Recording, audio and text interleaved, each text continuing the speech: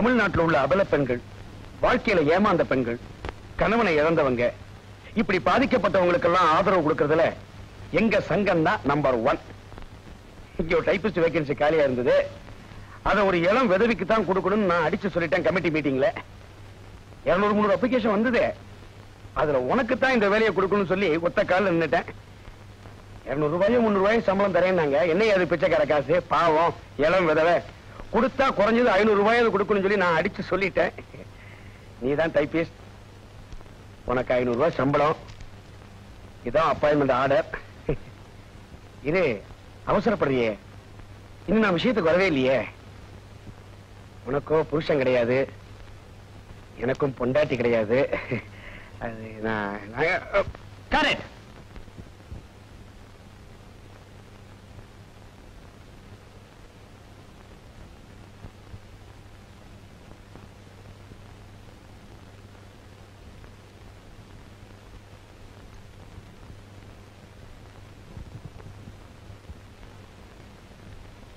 ஆண்டவரே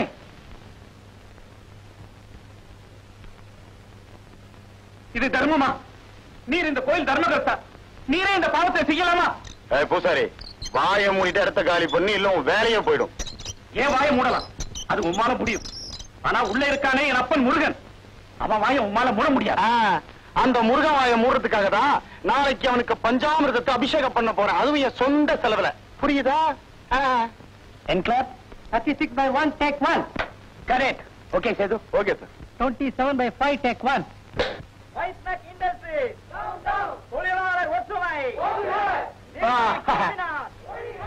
നിങ്ങളുടെ ഫാക്ടറിക്കാരിലെ ഈ പാവപ്പെട്ട തൊഴിലാളികൾ തങ്ങളുടെ രക്തത്തെ ചിന്തണത് പിന്നെ എന്തിനാണ് twelve percent bonus എങ്ങൾക്ക് minimum twenty percent അത് കൊടുക്കണം ഇല്ലെങ്കിൽ സ്ട്രൈക്ക് ചെയ്യും ഫാക്ടറി ലോക്കേറ്റ് ആയാലും കവലയില്ലേ അത് ഞങ്ങളുടെ പ്രിൻസിപ്പിൾ மிஸ்டர் എന്താ நாராயணன்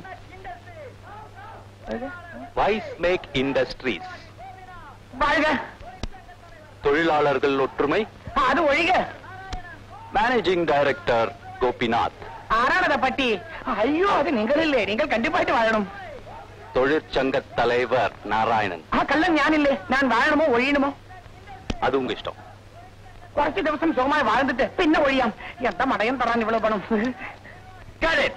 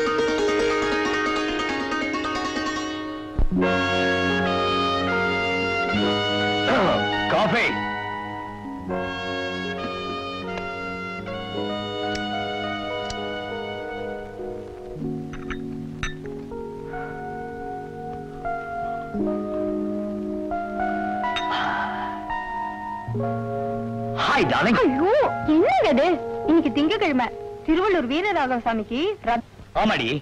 திங்கட்கிழமை திருவள்ளூர் வீரராக சுவாமிக்கு ரதம். செவ்வாய்க்கிழமை காஞ்சிபுரம் உலகளந்த பெருமாளுக்கு தேரு. புதன்கிழமை மயிலாப்பூர் கேசவ பெருமாளுக்கு கருட சேவை. வியாழக்கிழமை குன்னக்குடி முருகனுக்கு.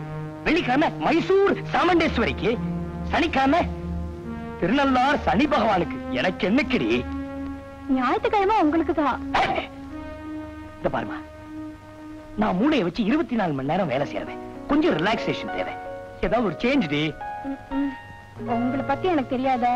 கொஞ்சம் இடம் கொடுத்தா போதுமே. இருபத்தி நாலு மணி நேரமும் வேற வேலையே இருக்காத. உங்களுக்கு ஒரு விஷயம் தெரியுமா? என்ன? உங்களுக்கு இன்னைக்கு சிவாஜி சார் ஷூட்டிங் இருக்கட்டுமே! சிவாஜி சார் ஷூட்டியா எல்லாருக்கும் முன்னாடி ஆறு மணிக்கு அங்க உட்கார்ந்து ஐயோ லேட்டா போனா திட்டுவாரு முன்னாடி போனா முறப்பாரு ஏண்டி முன்னாடியே சொல்ல சார் சார் சார் சார் நான் அப்பவே வந்துட்டேன் சார்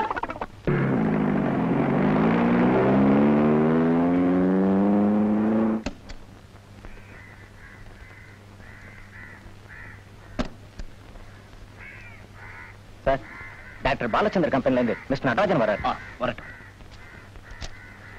வணக்கம் டாக்டர் சார். வாங்க நடராஜன். நல்லா இருக்கீங்களா? நல்லா. டைரக்டர் நல்லா இருக்காரு நல்லா இருக்கு உட்காருங்க. நரசிம்மன். சார். ரெண்டு கூல் ட்ரிங்க்ஸ் அனுப்புங்க. சரி சார். என்ன விஷயம்? நான் கொடுத்த கதையை படிச்சு பாத்தீங்களா எப்படி இருந்துச்சு? என்ன ஃபீல் பண்றீங்க? Sorry mister Natarajan. எனக்கு அந்த கதை பிடிக்கல. என்ன சார் இப்படி சொல்றீங்க? இந்த கதை நாவலா வந்து நாலு லட்சம் காப்பி வித்திருக்கு. இன்ஃபேக்ட் ராணிமுத்துல வந்த கதையிலேயே இதுக்கு தான் மக்கள் ஆதரவு எக்கச்சக்கம். சார் அந்த கதையோட பெரிய வீக்னஸே அந்த டியூல் ரோல் தான் சார். இந்த உலகத்துல ஒருத்தன் மாதிரி இன்னொருத்தன் இருப்பாங்கிறத என்னால ஒத்துக்க முடியாது என்ன சார் அப்படி சொல்றீங்க? எங்க வீட்டு பிள்ளை ஓடி இருக்கு. திருசூலம் ஓடி இருக்கு. ம், கல்யாணராமன் ஓடி இருக்கு. சார் அந்த படங்கள்லாம் டியூல் கேரக்டர்ஸ் அண்ணன் தம்பிங்க. அதனால ஜனங்க நம்பினாங்க படம் ஓடிச்சு. ஆனா நீங்க கொடுத்த கதையில அந்த டியூல் கேரக்டர்ஸ் அண்ணன் தம்பிங்களா? இல்லையே. எந்த விதமான ரத்த சம்பந்தம் இல்லாம மெட்ராஸ்ல இருக்கிற ஒருத்தன் மாதிரியே கன்னியாகுமரியிலயும் ஒருத்தன் இருக்கான்னு சொன்னா எப்படி சார் ஜனங்க நம்புவாங்க? ஜனங்க நம்புவாங்க. நீங்க தான் ஒத்துக்க மாட்டேங்கிறீங்க. உங்களை மாதிரி ஒருத்தர். கன்னியாகுமரியில இருந்து இங்க வந்து குதிச்சாதான் நீங்க நம்புவீங்க போல இருக்கு. என்ன மாதிரியா? சார் அப்படி ஒருத்தன் வந்து குதிச்சான்னா உங்க கவிதாலயத்துக்கு இந்த கதையை கண்டிப்பா படம் பண்றேன் சார். என்ன மாதிரி ஒருத்தன்? Impossible sir. Thank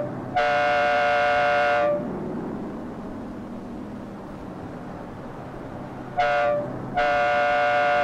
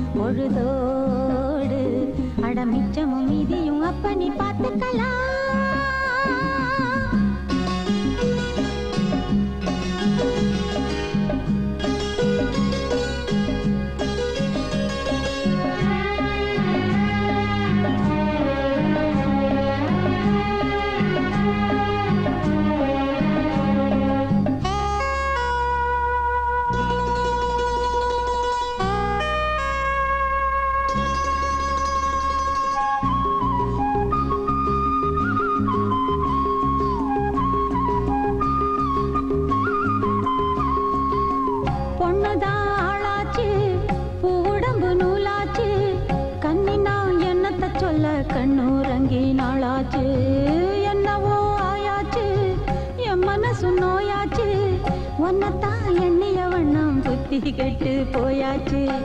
அசத்துற நேரத்தில். அசத்துற நேரத்தில் என்ன நீ உசு புரிய தவச்சேர விட்ட போல.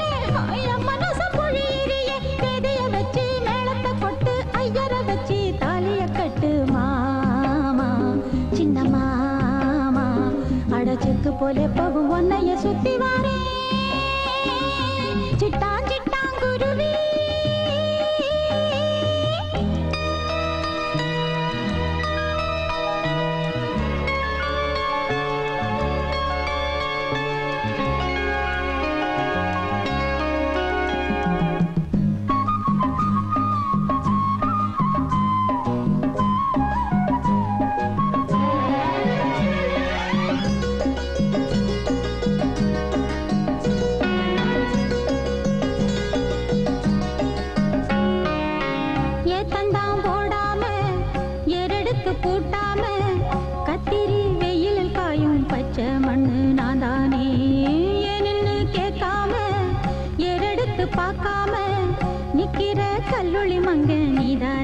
நீதானைய மச்சானே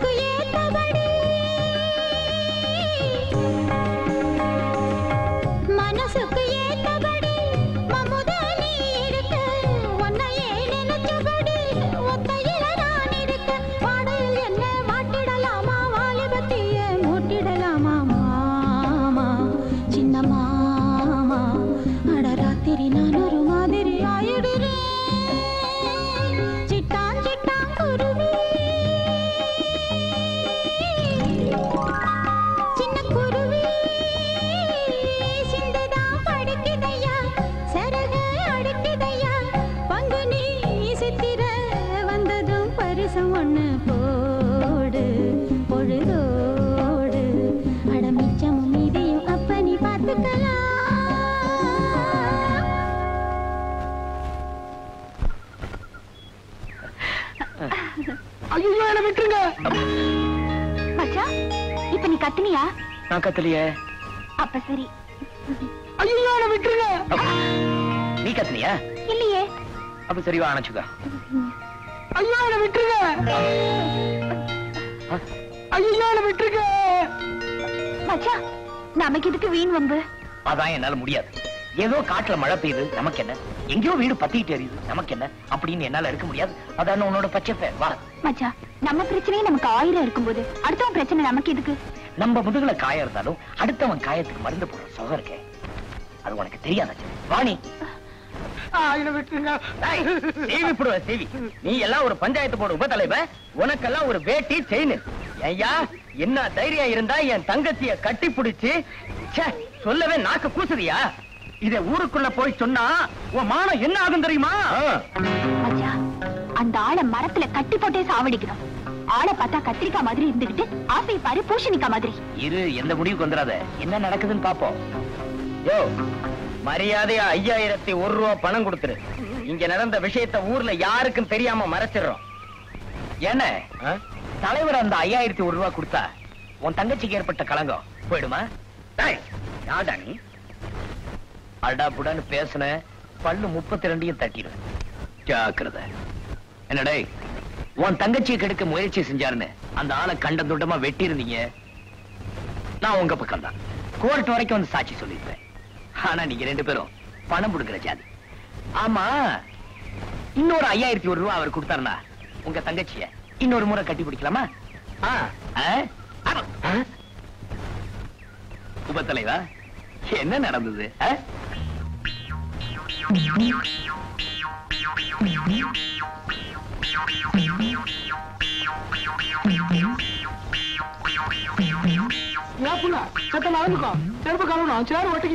கொடுங்க நான் கழுவி தரேனுங்க. உனக்கே கஷ்டம் நீங்க எங்களுக்காகவும் எங்க ஊருக்காகவும் எவ்வளவு கஷ்டப்படுறீங்க?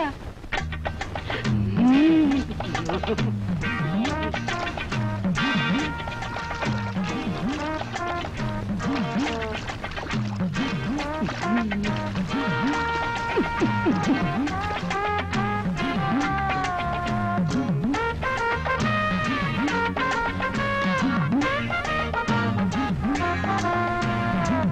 தடவை உங்க தோட்டத்துல பழம் எல்லாம் நல்லாவே காய்ச்சிருக்குது.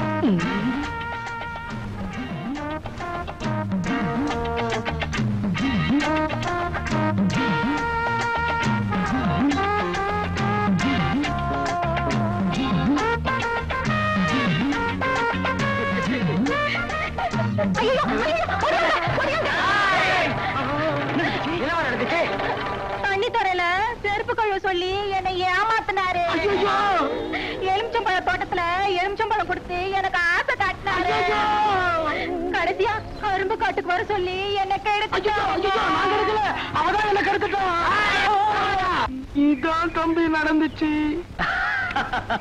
ஏயா சிரிக்கிற? நினைச்சேன் என்ன நினைச்ச? விசாரிச்சு பார்த்தா இந்த பொண்ணு அவங்க தங்கச்சியாவே இருக்காது. ஐயோ உன்னை தெரியுமா? உன்ன மாதிரி பெரிய மனுஷனுக்கு இருக்கிற சபல புத்திய தூண்டி விட்டுட்டு அவங்க அசந்த நேரம் பார்த்து பணம் முடுக்கிறதுக்குன்னே நம்ம நாட்டுல ஒரு கூட்டமே அலையுது. அப்படியா? உபத்தலைவா வீட்டுல குத்து விளக்கு மாதிரி ஒரு பொண்டாட்டி இருக்கும்போது உனக்கு ஏன் இந்த பெட்ரோமேக்ஸ் சபலம் தான் சரியான ஆரியாடி நாய் கட்டையா அவுக்க போற.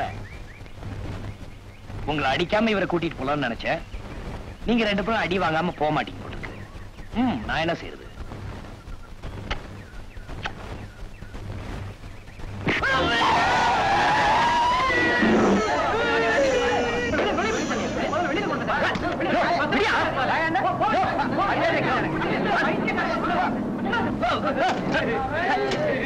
Hey!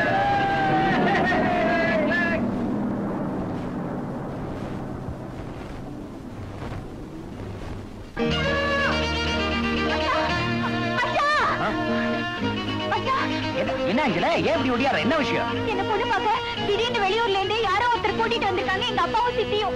அவங்களுக்கு என்ன புடிச்சு போச்சு. பாக்கு வெத்தல மாத்த. நல்ல நாள் குறிச்சிட்டு இருக்காங்க. தாமசா நம்ம இந்த ஊரை விட்டு ஓடி போயிடலாம். ஏன் ஏன் ஓடணும்? இது நம்ம ஊரு. உன்னை பொண்ணு பார்க்க வந்திருக்காங்களே அவங்க தான் அந்த ஊரை விட்டு ஓடணும். வாணி நான் இருக்கவா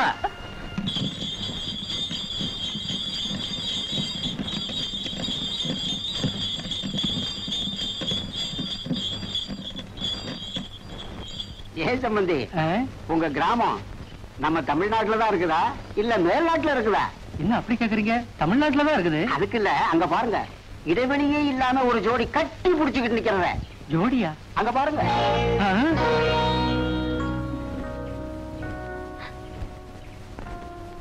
அஞ்சல இவன் தானே உன்னை கல்யாணம் பண்ணிக்கணும்னு நினைச்ச மாப்பிள? அஞ்சல இவங்க தானே பாக்கு வெத்தல மாத்தணும்னு நினைச்ச சம்மந்தி உன் இஷ்டத்துக்கு விரோதமா? வேற யாருக்கும் கல்யாணம் பண்ணணும்னு நினைச்ச அப்பனும் சித்தி இவங்க தானே? எல்லாரும் நல்லா பாத்துங்க. இந்த குடும்பம் ரொம்ப தங்கமான குடும்பம். இந்த குடும்பத்துல நாம சம்பந்தம் பண்ணிக்கலாம்னு என்னை இந்த கிராமத்துக்கு நீதானே அழைச்சுக்கிட்டு வந்த. எனக்கும் கட்டி பிடிக்க தெரியும்டா. வர்ற வெள்ளிக்கிழமை இந்த புஷக்கட்டவளுக்காக பாக்கு வெத்தல மாத்திக்கலாம்னு நீதானே ஏற்பாடு பண்ண ம்.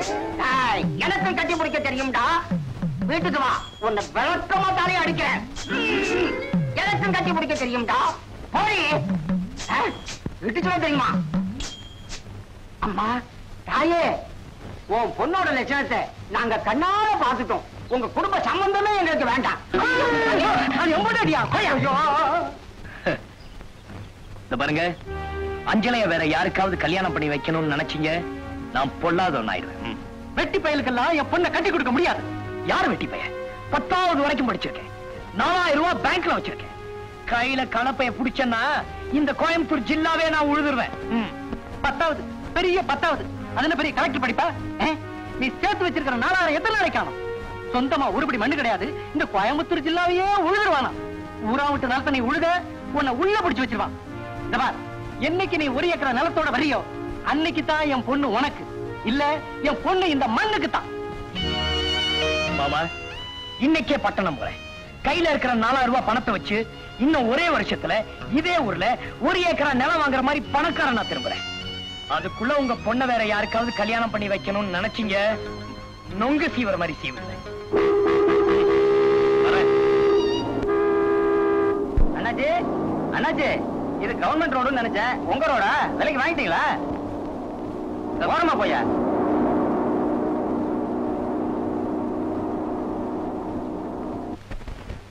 ஏய் சீனிவாசா அந்த டேபிள்ல இருக்கிறது யாரு தெரியுமா? அவர் தான் டைரக்டர் சக்கரவர்த்தி. நான் என்ன பண்ண போறேன்? நேரா ரூமுக்கு போக போறேன். நாராயணனை எழுப்ப போறேன். யூனிஃபார்ம் போட்டுக்க சொல்ல போறேன். அவனுக்கு ரொம்ப நாளா சினிமாவில் நடிக்கணும்னு ஆசை. அவனே நேர்ல கேட்கட்டுமே சீக்கிரம் அழுத்து விடு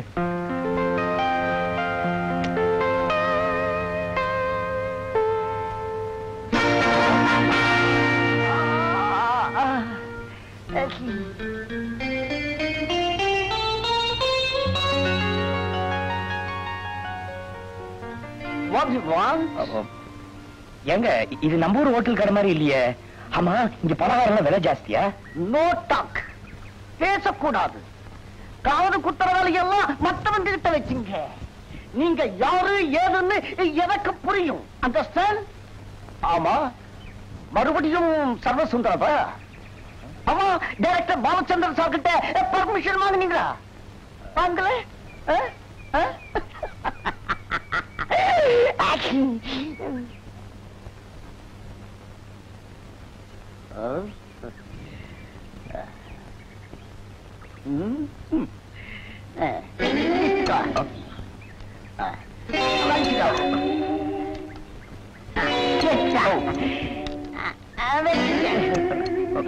நான் இந்த இனிப்பெல்லாம் கேட்கலீங்களே. நோ டாக் நான் கொடுக்கறதான் நீங்க சாப்பிடணும். ஆமா ஹோட்டல்ல ஹீரோ தேட வந்தீங்களா? ஆ? அவங்க நீங்க எங்கேயும் அலைய வேண்டாம். நானே ஹீரோ ஆக்ட் பண்றதாக முடிவு பண்ணிட்டேன் நம் சரி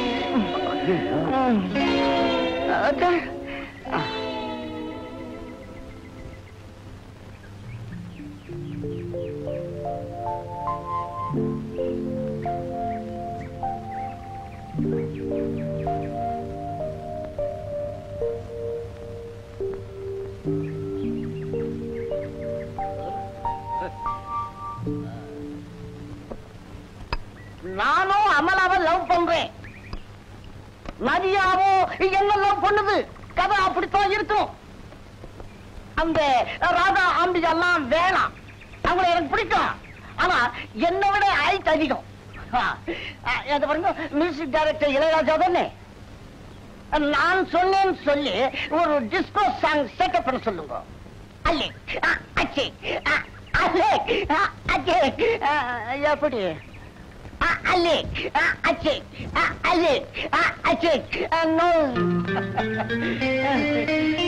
ஏன் சார் நான் இவ்வளவு சாப்பிட்டேனே. நீங்க எந்த காசு வாங்கலையே? நோ டாக் நேரா ப்ரொடியூசர் அனுப்புறீங்க. எக்ரிமெண்ட்ல கையெழுத்து போட்டு அட்வான்ஸ் வாங்குறேன். அப்படியே பே பண்ணிடுறேன். ஆமா கார் எங்க? ரஞ்சனி எடுத்துட்டு போயிட்டாங்க. ரஞ்சினியா. அந்த நிலாவத்தான கையில பிடிச்சனா கையில பிடிச்ச வெரி குட் ஆபீஸ் நீங்க ஒண்ணு செய்வீங்க என்னங்க? நேர தினத்தந்தி ஆபீஸ் போறீங்க. அங்க வந்து நான் மாறு வேடத்துல ஒரு ஹோட்டல்ல ஒரு ஹீரோ செலக்ட் பண்ணிட்டேன் அப்படின்ட்டு புல் பேஜ் விளம்பரத்தை கொடுக்குறீங்க. அண்டர்ஸ்டாண்ட் ரஞ்சினி எடுத்துட்டு போயிட்டான்னு சொன்னல வெரி குட் ஒத்துமே. ஸ்டீடியோ டாடா அந்த நிலவத்தான சாமி சாமி. சாமி சாமி சாமி எங்களை வாழ வச்ச தெய்வம் எங்க குடிசை பக்கமே வந்துடுச்சா? சாமி. என்னம்மா சொல்ற? நான் உங்களை வாழ வச்சு சாமி உங்க காலடி எங்க குடிசையில பட்டா அது ரொம்ப புண்ணியமுங்க. சாமி வாங்க சாமி எல்லாத்தையும் விவரமா சொல்றேன். சரி போங்க வரேன். வாங்க சாமி. வாங்க சாமி. வாங்க சாமி. வாங்க வாங்க சாமி. உட்காருங்க சாமி. உட்காருங்க. சாமி என் புருஷன் இருபத்தி நாலு மணி நேரமும் சாராயம் குடிச்சுக்கிட்டே இருந்தார். எப்ப பார்த்தாலும் எனக்கு அடி உத குத்துதான். குழந்தைங்க சதா அழுதுகிட்டே இருக்கும். சாமி நீங்க குடிய பத்தியும் அதனால வர கெடுதலை பத்தியும் ஒரு சினிமா படம் எடுத்தீங்களே? அன்னைக்கு வீட்டுக்கு வந்து சாராய் புட்டி எல்லாம் உடைச்சவர் தான் சாமி. இன்ன வரைக்கும் சாராய் புட்டியை கையால தொடுறதே இல்ல சாமி. சாமி எங்க குடும்பத்தை வாழ வச்ச தெய்வம் நீங்க. சாமி உங்க படத்தை நாங்க எங்க மாட்டி வச்சிருக்கோம் பாருங்க சாமி. பாருங்க சாமி. பாருங்க.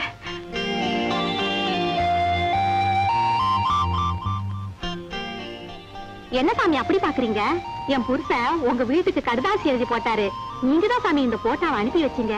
சாமி என் புருஷன் மீன் பிடிக்க கடலுக்கு போகும்போதெல்லாம் உங்க போட்டா அவன் தொட்டு கும்பிட்டு தான் சாமி போவாரு. சாமி ஒரு அஞ்சு நிமிஷம் இருந்தீங்கன்னா கருவாட்டு குழம்போட உங்களுக்கு சோறாக்கி போடுவேனுங்க. சாமி கொஞ்சம் இருந்துட்டு போங்க சாமி.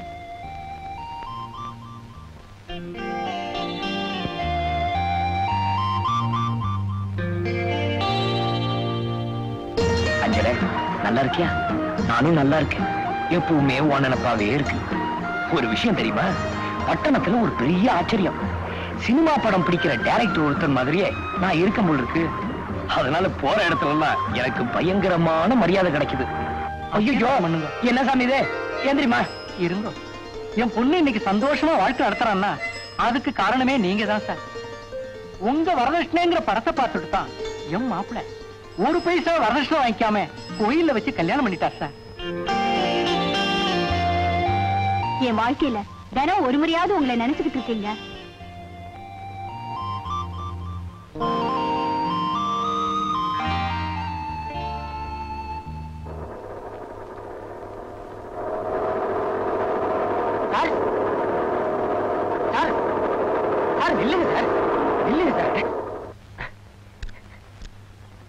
என்ன சார்? என்ன சார்? நடந்து போறீங்களா சார்? கால் இருக்கு நடந்து போற. சினிமா எடுக்கிற மாதிரி தமாஷா பேசுறீங்க சார். ஓஹோ புரிஞ்சுக்கிட்டீங்களா? அது மார்னிங் வாக்கிங் எக்ஸசைஸ் லுங்கியோடயா சார்? அது மக்கள் அடையாளம் தெரிஞ்சுக்க கூடாது பாருங்க அதனாலதான் நான் கண்டுபிடிச்சிட்டேன் சார். நல்லா இருங்க பரம ரசிகர் போல் இருக்கு. இல்லன்னா உங்க மருமலர்ச்சி படத்தை பார்த்துட்டு ஒரு முடிவுக்கு வந்து ஒரு விதவையை கல்யாணம் பண்ணிட்டு இருப்பேனா சார்? என் வாழ்க்கையில தினம் ஒரு முறையாவது உங்களுக்கு நன்றி சொல்லிட்டு இருக்கேன் சார்.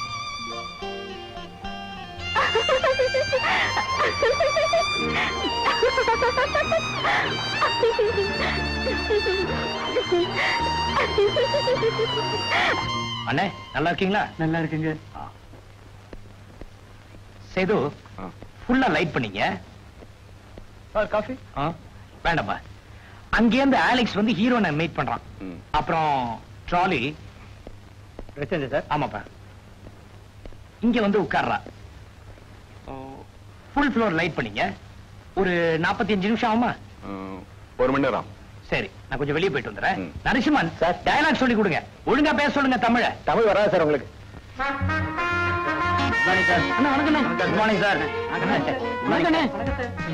மார்க்கெட் இருக்குல்ல இப்படிதான் பத்திரிக்காரன் மதிக்காத போவாரு.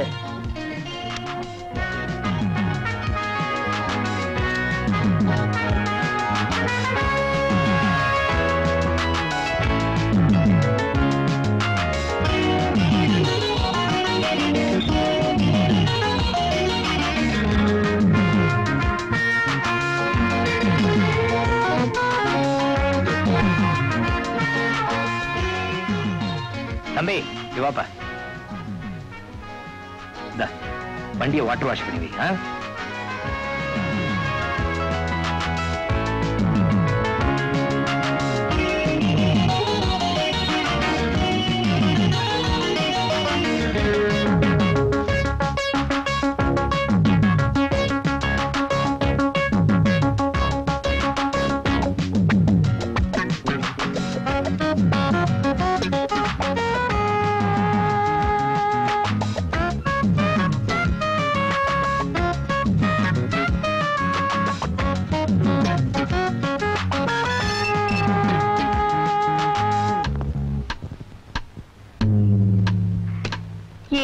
பயந்து நடுக்குறீங்க சமுதாயத்துல மூல முடுக்குல நடக்கிற ஊழல்களை சந்தி சிரிக்க வச்சு பல பெரிய மனுஷங்களோட முகத்திரையை கிழிக்கிற டைரக்டர்னு எனக்கு மக்கள் மத்தியில ஒரு நல்ல பேரு. அப்படிப்பட்ட டைரக்டர் சக்கரவர்த்திக்கு பின்னால ஒரு ரகசியம் இருக்குன்னு பொதுமக்களுக்கோ இல்ல பத்திரிக்கைக்காரங்களுக்கோ தெரிஞ்சது தமிழ்நாடு பூரா சந்தி சிரிக்க வச்சிருவாங்க. அப்புறம் நம்ம மார்க்கெட்டே க்ளோஸ் பாப்பா இருக்கா இல்லையா? உங்களுக்காக காத்துக்கிட்டே இருக்கேன்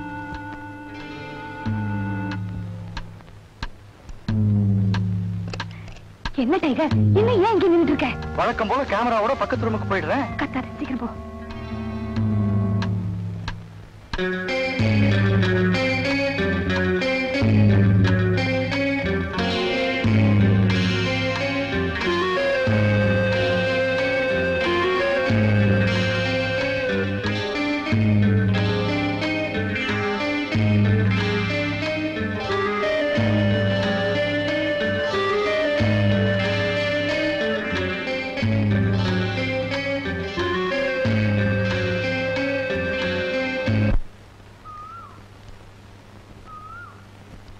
இன்றைய ராசி பலன். அதிர்ஷ்டகரமான நாள்.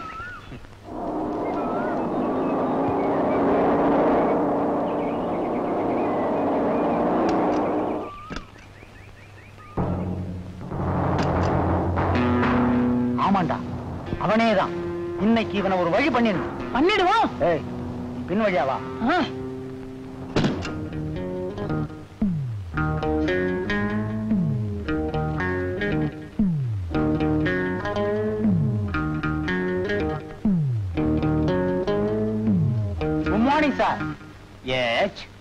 தானே சினிமா படம் பிடிக்கிற டைரக்டர் டேய் பச்சேப்பா அன்னைக்கு ஹோட்டல்ல ஓசியில டிபன் கிடைச்சது மீனவ பொம்பளை. கருவாட்டு குழம்போட சோறு போட்டா இவங்க கார்ல வந்திருக்காங்க. பெருசா கொடுப்பாங்க. ஆமான்னு சொல்லுடா. ஆமா நான் தான் டைரக்டர் பேரு சக்கரவர்த்தி தானே? மாற வேஷத்துல வந்திருக்கேன். சமுதாய புற்றுநோய்ங்கிற படத்தை எடுத்தது நீங்க தானே? ஆமா ஆமா. அதுல கள்ளச்சாராயம் காய்ச்சறவங்க எல்லாம் உங்க கதாநாயகன் நிக்க வச்சு சுடுவானே? ஆமா ஆமா. கள்ளச்சாராயம் காய்ச்சறவங்களா சமூக விரோதிகள் காமிச்ச படம் அதுதான் என் கொள்கை. உங்களுக்கு படம் பிடிச்சதா? இப்ப பிடிக்க போகுது. ஏண்டா நிக்கிற? போடுறா.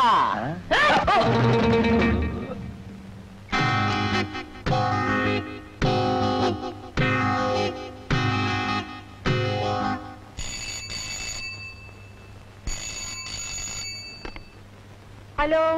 நான் தான் அமாவாசை. நான் தான் செங்கல்பட்டு செங்கோடே. நான் தான் காட்டாங்குளத்தூர் காத்தாடி. நான் தான் அமைஞ்சிக்கிற அமாவாசை. ஏற்கனவே சொல்லிட்டீல அப்புறம்? இப்போ உங்க புருஷன் எங்க பாதுகாப்புல தான் இருக்கான்.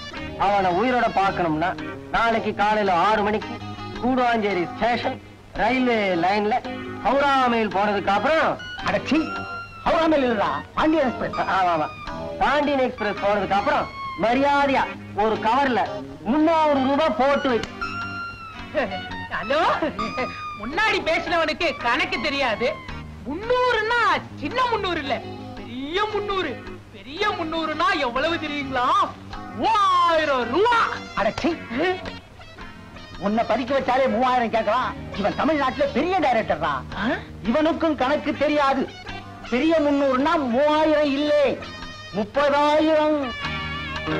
இந்த விஷயம் போலீஸுக்கு தெரிஞ்சது அப்புறம் உங்க புருஷனை பணமாத்தான் பாப்பீங்க அண்ணே எதுக்கு நம்ம போன் நம்பர் கொடுத்தீங்க கரெக்ட் நம்ம போன் நம்பர் நோட் பண்ணீங்க.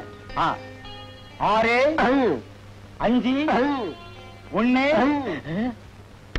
அத்தி, உன் பேச்ச கேட்டு இந்த போன் நம்பரை முழுசா கொடுத்திருந்தேன்னா நம்ம எல்லாருமே தான் மாட்டிக்குவோம்?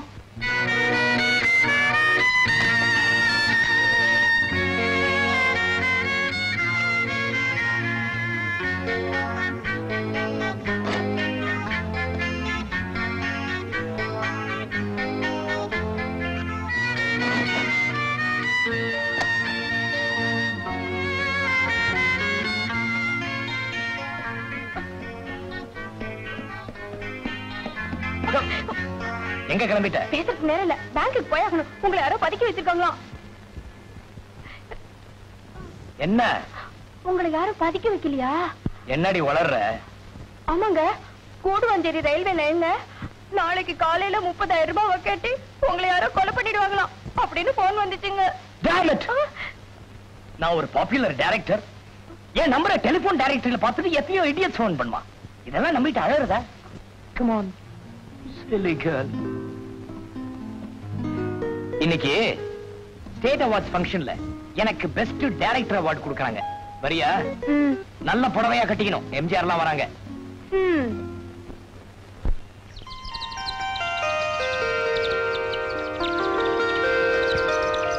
நம்ம பதுக்கி வச்சிருக்கிற டைரக்டரை பத்தி ஏதாவது நியூஸ் வந்திருக்குதான்னு பாப்போம்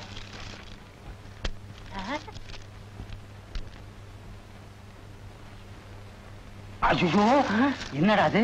இவனை ராத்திரி பூரா நாம இங்க அடைச்சு வச்சிருக்கோம். இவன் என்னடானா நேத்து ராத்திரி எம்ஜிஆர் பிரைஸ் வாங்கியிருக்கான். போட்டோ கூட வந்திருக்கு. எப்படி அது? அண்ணே ஒருவேளை டூப்ளிகேட்டா இருக்க போகுது. நல்லா பாருங்க அதே சிரிச்ச முகம். அதே சிவப்பு கலர் அதே கருப்பு கண்ணாடி. அதே வெள்ள தொப்பி. எம்ஜிஆரே தான். டூப்ளிகேட் இல்ல. சின்ன நேத்தே வேணாம் வேணாம்னு சொன்னேன். கேட்டீங்களா? என்ன என்ன வேண்டான்னு சொன்னேன் நேத்து ராத்திரி நீங்க ரெண்டு பேரும் சாராய கடைக்கு போனீங்களா? சின்ன நன்னையான காவலுக்கு விட்டுட்டு போனீங்க. அப்ப இந்த பரிசு வாங்க வேண்டிய விஷயத்தை அவர்கிட்ட நான் சொன்னேன். அவர் என்ன சொன்னாரு? நீங்க ரெண்டு பேரும் இருக்கீங்க சொல்லாத. நான் உன்னை கூட்டிட்டு போறேன். ஆனா ரெண்டாயிரம் ரூபாய் தனியா தள்ளி விட்டுணும்னு நானும் ஒத்துக்கிட்டேன். அவர் என்ன கூட்டிட்டு போனாரு. பரிசையும் வாங்கிட்டேன். பாத்தீங்களா? பேப்பர்ல இன்னைக்கு செய்தி வந்துருச்சு. பாவம் சின்ன மாட்டிட்டாரு அவரை அடிச்சிடாதீங்க. பாவங்க அவர் அடிச்சிடாதீங்க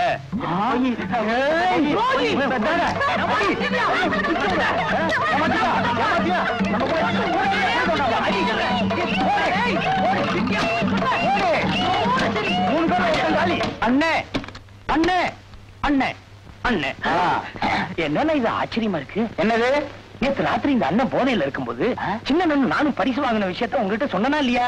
நானா? அட சொன்னா சொன்னீங்க. என்ன சொன்னீங்க? குண்டு கிட்ட சொன்னாங்க எனக்கு எக்ஸ்ட்ராவா மூவாயிரம் ரூபாய் தள்ளுன்னு. நடனம் சின்ன சேர்த்து நீங்களும் அடிக்கிறீங்களே? இவர் அடிச்சிடாதீங்க.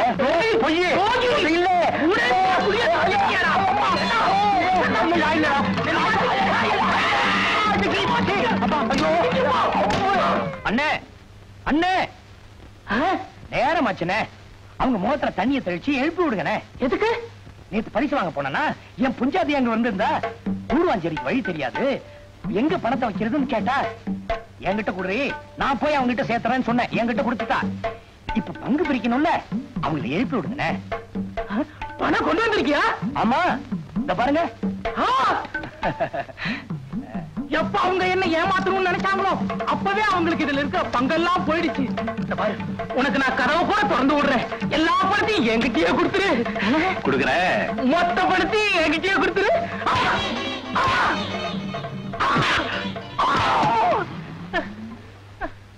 முட்டா பசங்களா கொஞ்சம் ஏமாந்தா பின்னாடி மண்டையில அடிச்சு ரூம்ல பூட்டி வைக்கிறீங்க.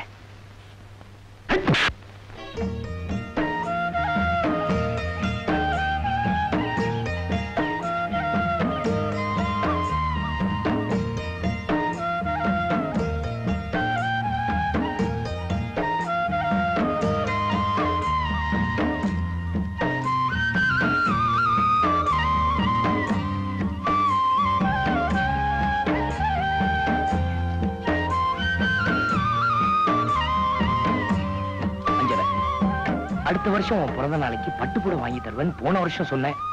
இந்த வருஷம் உன் பிறந்த நாளும் வந்துருச்சு. என்னால உனக்கு ஒரு பட்டுப்புடவை வாங்கி தர முடியாம போயிடுச்சு. என்ன மன்னிச்சிரு அஞ்சல. யாரு? யாரது?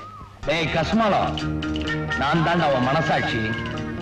நீ நினைச்சா உனக்கு ஒரு பட்டுப்புடவை கிடைக்காத. யாருக்குடா காது குத்துற? எப்படா எப்படி கிடைக்கும்? பச்சையப்பா. நீ பச்சையப்பனா போனாதான்டா கிடைக்காது. டைரக்டர் சக்கரவர்த்தியா போனா? கண்டிப்பா கிடைக்கும். ஐயோ அது தப்பு இல்ல அப்படின்னா டைரக்டருக்கு பதிலா ஒண்ணு அடிச்சாங்க அது தப்பு இல்ல டைரக்டருக்கு பதிலா ஒண்ணு அடைச்சு வச்சாங்க அது தப்பு இல்ல டைரக்டருக்காக நீ நிறைய தியாகம் பண்ணிருக்கடா அதுக்கு ஆண்டவனா கொடுக்கிற பரிசு தாண்டா இந்த பட்டு புடவை. போய் வாங்கிக்க. அப்போ ஊருக்குள்ள போய் நான் தான் டைரக்டர் சக்கரவர்த்தின்னு சொன்னா நம்புவாங்கங்கிற. மறுபடியும் அடிக்க மாட்டானுங்களே. நீ டைரக்டர் சக்கரவர்த்தியா போய் பாருடா. அப்பதான் உனக்கு கிடைக்கிற மரியாதையே உனக்கு தெரியும். நீ சொல்றதெல்லாம் சரி. நான் எப்படி டைரக்டர் சக்கரவர்த்தியா மாறுறது? லாண்டரியில கிடைக்காது. வெள்ள பேண்ட் வெள்ள ஜிப்பா. அப்பப்போ நகத்தை கடிச்சுக்க உடவை கடைக்கு போய் நில்லு. மத்தது கடைக்காரன் பாத்துக்கிறான்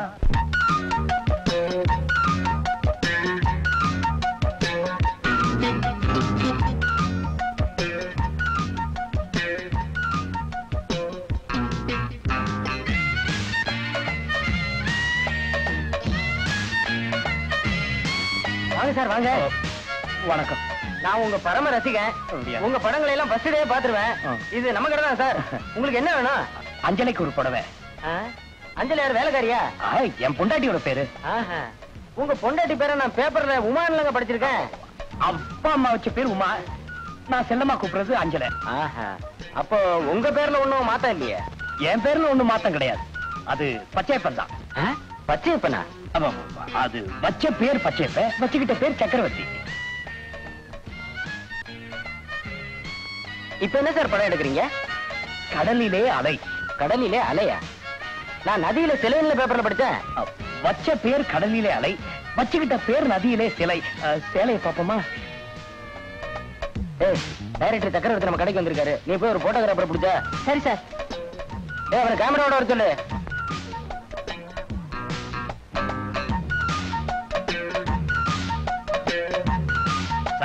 ஒரு நாற்பது நாற்பத்தஞ்சு ரூபால சாயம் போகாத புடவைய காட்டுங்க சார். என்ன சார் விளையாடுறீங்க? உங்களுக்கு இன்னைக்கு திருமண நாள். உங்க மனைவிக்கு புடவை எடுக்க வந்திருக்கீங்க. நாற்பது நாற்பத்தஞ்சு ரூபாய்க்கா புடவை எடுக்கிறது? எனக்கு திருமணம் நாள? உங்களுக்கு எப்படி தெரியும்? இன்னைக்கு காலைல பேப்பர்ல படிச்சேனே. ஓஹோ. இந்தப்பா ஒரு ஆயிரத்தி ஐநூறு ரெண்டாயிரம் ரூபாய் புடவை எடுத்து போடு. சார் ஷூட்டிங் வந்த அவசரத்துல என் பெருச வீட்டுல விட்டுட்டு வந்துட்டேன். உங்களை யார் சார் பணம் கேட்டாங்க? நீங்க புடவை எடுத்துட்டு போயிட்டே இருங்க. பில்ல பின்னாடி வீட்டுக்கு அனுப்பிச்சிடுறேன். புடவை எடுத்துட்டு போயிட்டே இருக்கலாம். பில்ல வீட்டுக்கு அனுப்பிச்சிடுறீங்க. அப்ப இந்த ஆயிரம் ரூபாய் புடவை எல்லாம் வேண்டாம் சார். ரெண்டாயிரம் ரூபாய் மூவாயிரம் ரூபாய் புடவை எடுத்து காட்டுங்க. பில்ல வீட்டுக்கு தானே அனுப்புறீங்க? ஆமாங்க. காட்டுங்க சார்.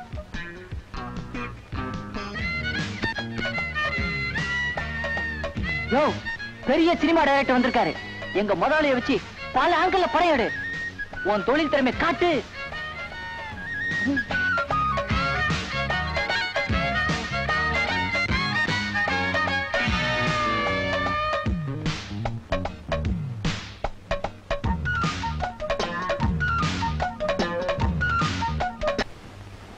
பட்டுப்புடவை மூவாயிரத்தி நானூத்தி அறுபத்தி ஒன்பது ரூபாய் பட்டு ரவிக்க அறுநூத்தி நாற்பது ரூபாய் டாட்டின் உள்பாவாடை எண்பத்தாறு ரூபாய் ரவிக்கைக்கு உள்ள போடுற வெள்ளை ரவிக்க நாற்பத்தெட்டு ரூபாய் ஆக மொத்தம் நாலாயிரத்தி இருநூத்தி நாற்பத்தி மூணு ரூபாய் இந்தாங்க பில்லு. தம்பி இதெல்லாம் அவர் எனக்காக வாங்கியிருக்க மாட்டாருப்பா.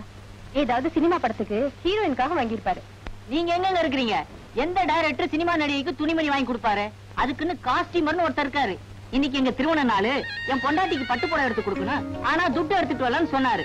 அதனால என்ன? நீங்க துணி எடுத்துட்டு போங்க. பில்ல வீட்டுக்கு கொடுத்து அனுப்புறேன்னு எங்க முதலாளி சொன்னாரு. அவர் பார்சல் எடுத்துட்டு போயிட்டாரு. நான் பில் எடுத்துட்டு வந்துட்டேன். ஐயா கடை விட்டு புறப்பட்டு மூணு மணி நேரம் ஆச்சு இன்னும் வீட்டுக்கு வந்து சேரலீங்களா? கொஞ்சம் இருப்பா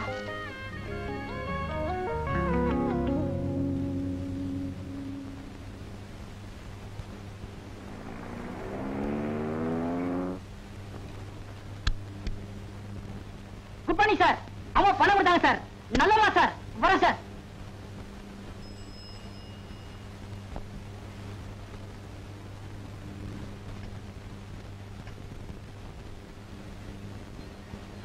அஸ்வே.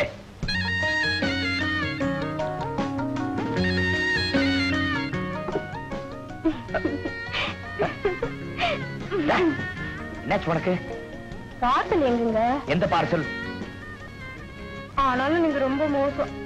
எனக்காக கடைக்கு நீங்களே போய் பிரா வாங்கணுமா? என்னடி வளர்ற? இப்படிதான். செய்யறத செய்வீங்க. அப்புறமா சல்லு சல்லுன்னு விழுவீங்க. புடவை என்ன கலருங்க புடவை கலர் என்னடி சொல்ற? வெட்டிங் ஆனிவர்சரிக்காக புடவை வாங்குற விஷயம் எனக்கு தெரியும். புடவையும் பிளவுஸும் மேட்சிங்கா இருக்கா?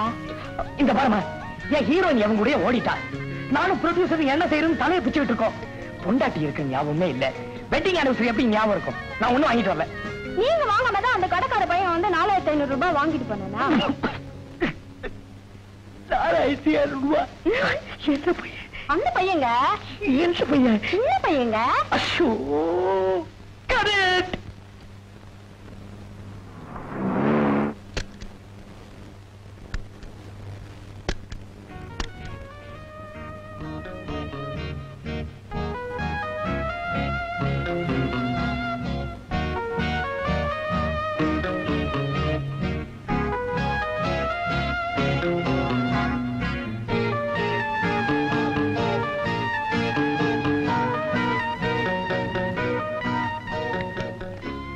சார் வாங்க வாங்க அம்மா வாங்க.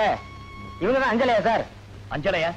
நீங்க செல்லமா கூப்பிடுற பேருன்னு சொன்னீங்களே நான்சென்ஸ் நீங்க தான் இந்த கடைக்கு முதலாளியா? என்ன திடீர்னு சந்தேகம்? உங்க கடைக்கு வந்து நான் புடவை வாங்கினதா வீட்டுக்கு பில் அனுப்பிச்சிருக்கீங்க. உங்க பையன் வேற வந்து பணத்தை வாங்கிட்டு போயிருக்கான். எப்ப சார் உங்க கடைக்கு வந்த? என்ன சார் இப்படி கேக்குறீங்க? நீங்க தான் வந்தீங்களே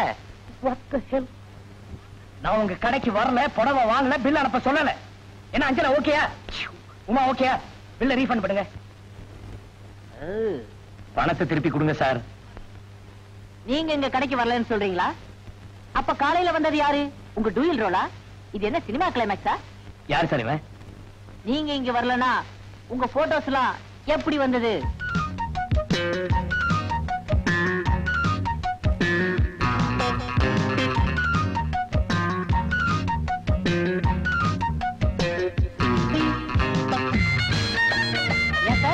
நீங்க சின்ன வீட்டுக்கு புடவை வாங்குறதா சொல்லி இருந்தா நான் பெரிய வீட்டுல பில்ல கொடுத்திருக்க மாட்டேனே. நீங்க பெரிய வீடு தானே? இங்க பாருமா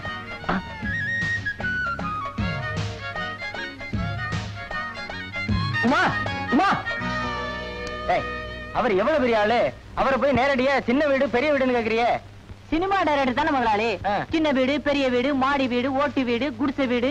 கிட்டத்தட்ட ஒரு காலனிய செட்டப்ல இருக்கும்.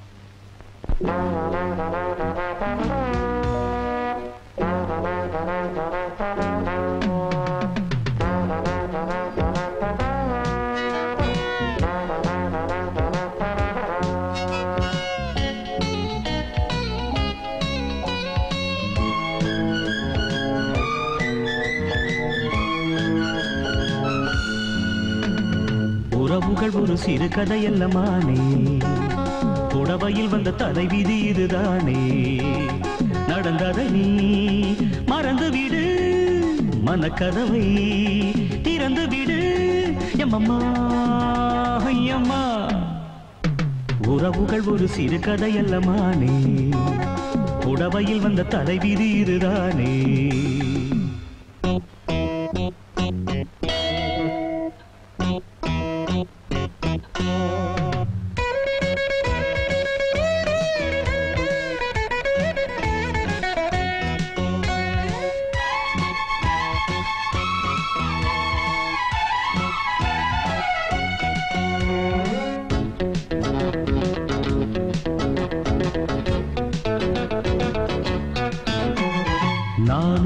மனிதன் தேவன் அல்ல.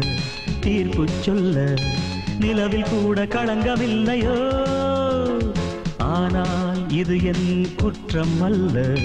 குறைகள் சொல்ல பாலும் கள்ளும் வெண்மை இல்லையோ? இது யார் தவறோ? அடியேன் அறியேன் பணிவாய் மலரே உனை நான் பிரியேன். மூன்று நாட்கள் மௌனமாக என்ன சிந்தனை?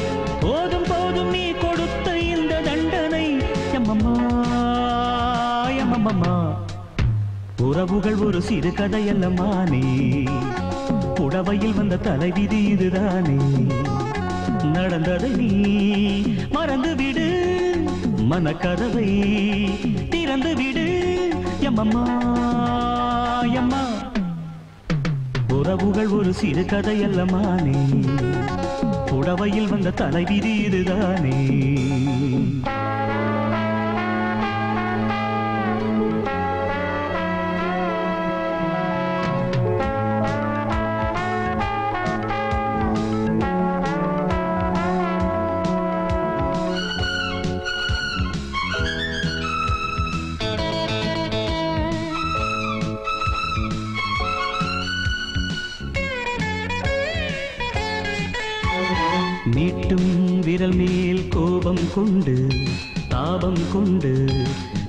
செல்லும் வீணை இல்லையே வாழும் வரையில் நானும் நீயே நீயும் நானே இமையும் கண்ணும் பகைவர் இல்லையே இதுதான் நமக்கு நெடுநாள் உறவு.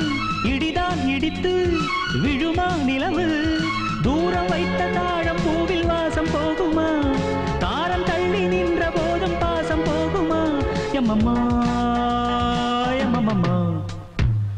புகழ் ஒரு சிறு கதையல்லமானே. புடவையில் வந்த தடை விதி இதுதானே. நடந்ததை நீ மறந்து விடு. மனக்கதவை திறந்து விடு. எம்மம்மா எம்மா உறவுகள் ஒரு சிறு கதையல்லமானே. புடவையில் வந்த தலைவிதி இது தானே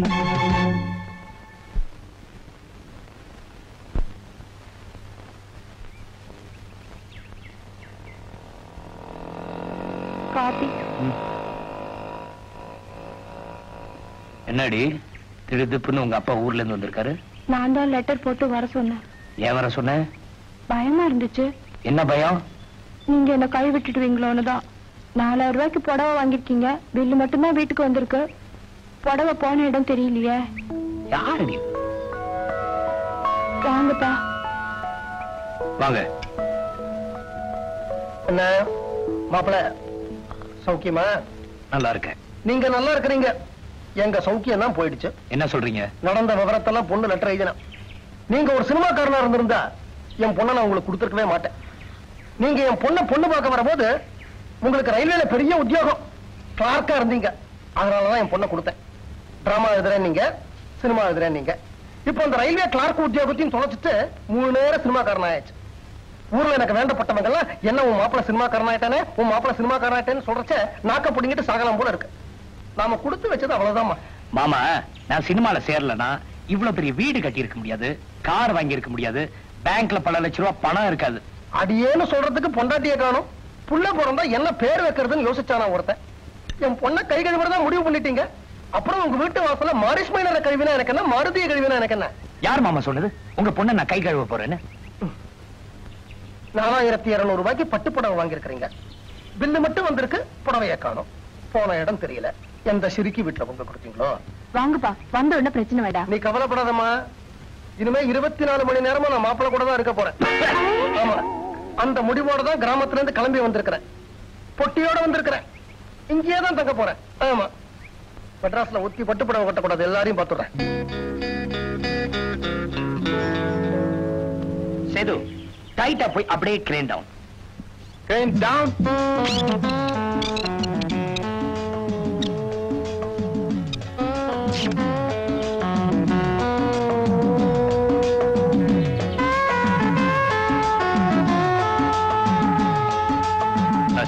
எந்திரி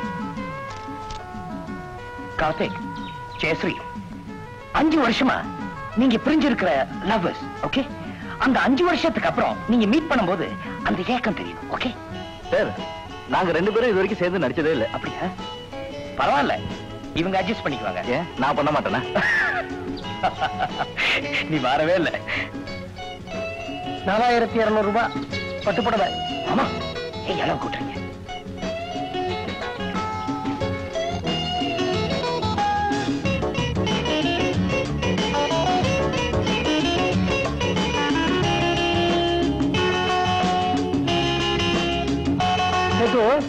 இது வழியா பார்த்தா தான் சூரியன் மேகத்துக்குள்ள போயிருக்கானா இல்லையான்னு தெரியுமா? சேது ரெடியா Ready, sir. Ready sir start camera start camera action நடிங்கப்பா. Crane down crane down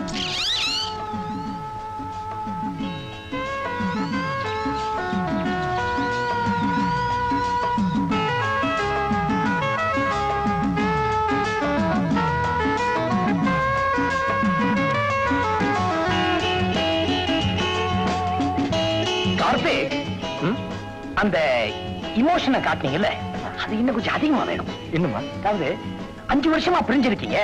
அது எப்படின்னா ஆ, இந்த பாருங்க நான் பண்ணி காட்டுறேன். மாப்பிள மாப்பிள இங்க வாங்க.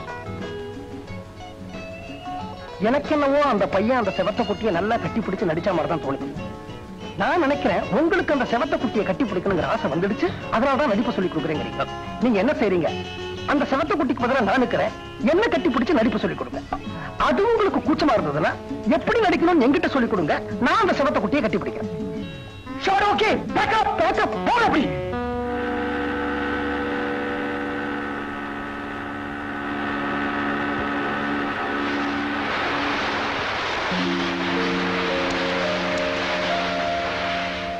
தம்பி வண்டியை வாட்டர் வாஷ் பண்ணு.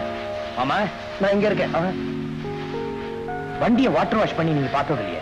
ரொம்ப தமாஷா இருக்கும். நீங்க பார்த்துட்டு இருங்க. நான் ஒரு அரை மணி நேரத்துல வந்துடுறேன். கிராமத்துல குழாயில டியூப சுருகி நானே எவ்வளவோ தடவை எருமை மாட்டை குளிப்பாட்டிருக்கேன். கிராமத்துல எருமாடு பட்டணத்துல காரு இதுல வேடிக்கை பார்க்க என்ன இருக்கு? நீங்க எங்கேயோ அரை மணி நேரம் போறேன் நீங்களே. அந்த இடத்துக்கு நானும் வரேன். நான் எங்கேயும் போல.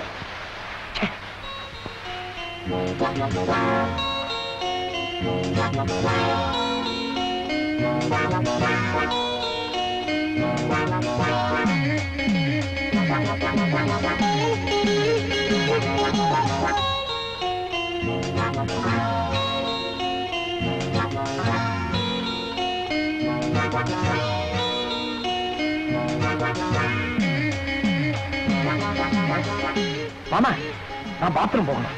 நானும் ஆம்பளை நீங்களும் ஆம்பளை நமக்குள்ள என்ன வைக்கும்? தைரியமா உள்ள போங்க. நான் காவலுக்கு இருக்கிறேன். சங்கோச்சப்படாம போங்க. அந்த பக்கம் வெளியில போக வழி இல்லையே? இல்ல. அப்ப சரி. மச்சான் நீ ஆசையோட வாங்கி அனுப்புன பட்டுப்புடவை கிடைச்சது. அது நான் கட்டிக்கிட்டு நம்ம ஊர்ல தெரு தெருவா போய் என் மச்சான் வாங்கி கொடுத்த புடவைன்னு எவ்வளவு பெருமையா சொல்லிட்டு வந்தேன் தெரியுமா? ஆனா நீ அந்த புடவை வாங்கினது தவறான வழின்னு என் மனசாட்சி என்ன உறுத்த ஆரம்பிச்சிருச்சு. அதனால உடனடியே அந்த டைரக்டர் சந்திச்சு பேசி நடந்ததையெல்லாம் சொல்லி மன்னிப்பு கேட்டு புடவை அவர்கிட்டயே திருப்பி கொடுத்துரு. இல்லைனா இந்த அஞ்சலை உனக்கு சொந்தம் இல்ல.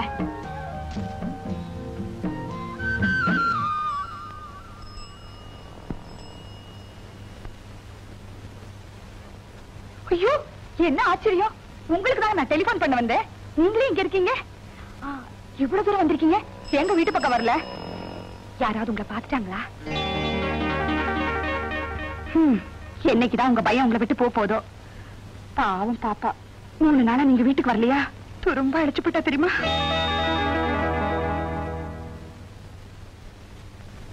இத பாருங்க. இனிமே உங்களால வர முடியல. ஏதாவது இடம் சொல்லுனா ஒரு இங்கிலாந்து லெட்டர் நம்பர் ஏழு பாலகிருஷ்ணா தெரு வேதநாயக நகர் இந்த மாதிரி பாப்பா இந்த மாதிரி காரணத்துக்கு என்னால வர முடியல அவ்வளவுதானே என்னதான் பாப்பா சின்ன வீடா இருந்தாலும் அவ உங்களை எவ்வளவு நேசிக்கிறா தெரியுமா six five one four zero one அப்படின்னு அவளால உங்களுக்கு ஃபோன் பண்ண முடியுமா ஆரஞ்சு ஒண்ணு நாலு சைபர் ஒண்ணு அதானே முடியாது ஆமா? நீங்க யாருக்கு டெலிபோன் பண்ண பூத்துக்கு வந்தீங்க டைரக்டர் சக்கரவர்த்திக்கு என்ன வளர்றீங்க நீங்க தானே டைரக்டர் சக்கரவர்த்தி உங்களுக்கு தான் போன் பண்ணாங்க மறுபடியும் வளரல எனக்கு எது போனு இல்லையா? உங்க வீட்டுக்கு தான் வந்துட்டு இருந்தேன். திடீர்னு தெரிஞ்ச ஒரு ஒருத்தர் வந்துட்டாரு. அவர்கிட்ட இருந்து மறையணுங்கிறதுக்காக இங்க ஒளிஞ்சுக்கிட்டேன். யாராவது பாத்துட்டு போறாங்க. நீங்க கிளம்புங்க. நீங்க வருவீங்களா? ஆ, கண்டிப்பா கண்டிப்பா வரேன். ஓகே பாய் பை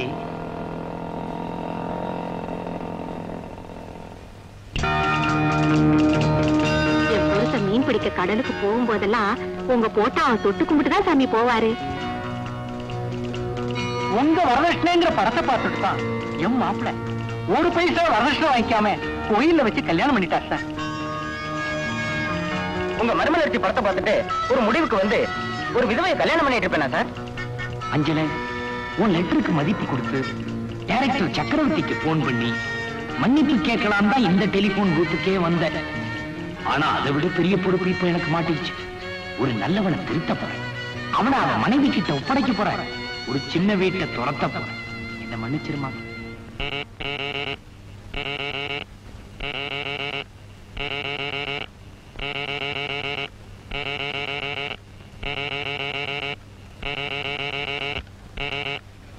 சக்கரவர்த்தியா என்னம்மா கண்ணு சௌக்கியமா?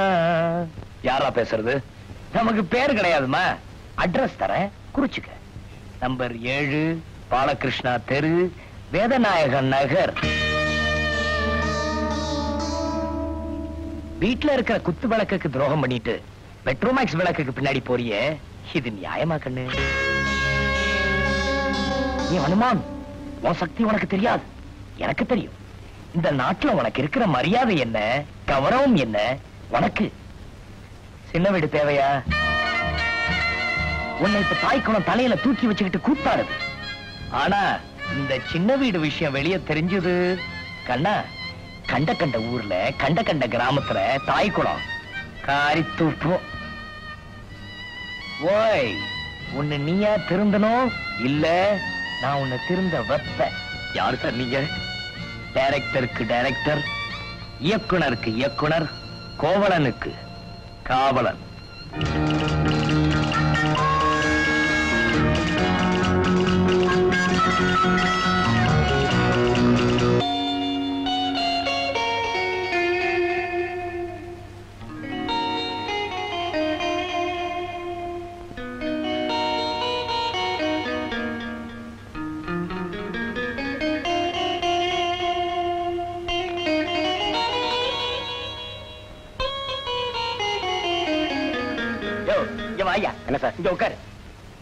என்னங்க மணி பதினொன்னாச்சு? இன்னும் முதல் சாட்டே எடுக்கலையா?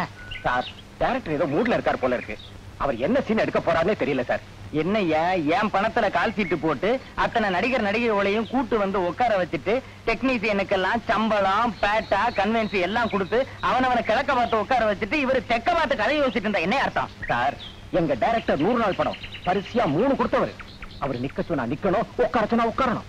இந்த லட்சணத்துல படம் எடுத்தாருன்னா நூறு நாள் இல்ல நூத்தி எழுபத்தஞ்சு நாள் ஓடினாலும் நமக்கு கட்டுப்படி ஆகாதுய்யா அடி ஆத்தி நான் திருப்பத்தூர்ல இருந்து கிளம்பின நேரமே சரியில்லை. ஆரஞ்சு ஜூஸ்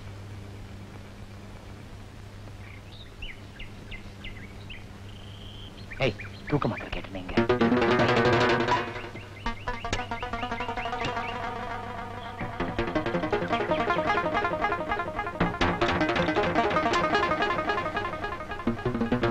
என்ன மாமா ஷூட்டிங்லாம் ஜாலியா இருக்கா? நல்லா இருக்கு. எப்படி இருக்கு ஆரஞ்சு ஜூஸ் ஜாலியா இருக்கு. இன்னொன்னு சாப்பிடுங்க. உங்களுக்கு? கழுத கேட்டா கொடுக்கறாங்க. கழுதியே கொடுப்பாரா?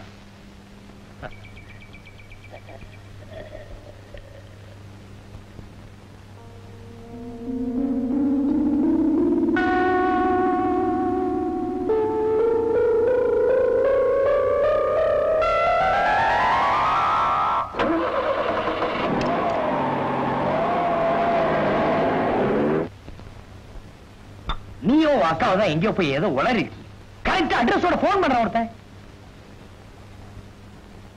இந்த பாருங்க முன்ன மாதிரி என்னால அடிக்கடி இந்த வீட்டுக்கு வர முடியாது. என் மாமனார் ஒரு ஊர்ல இருந்து வந்திருக்காரு. பக்கத்துல இருந்தே கழுத்தா இருக்கிறார்.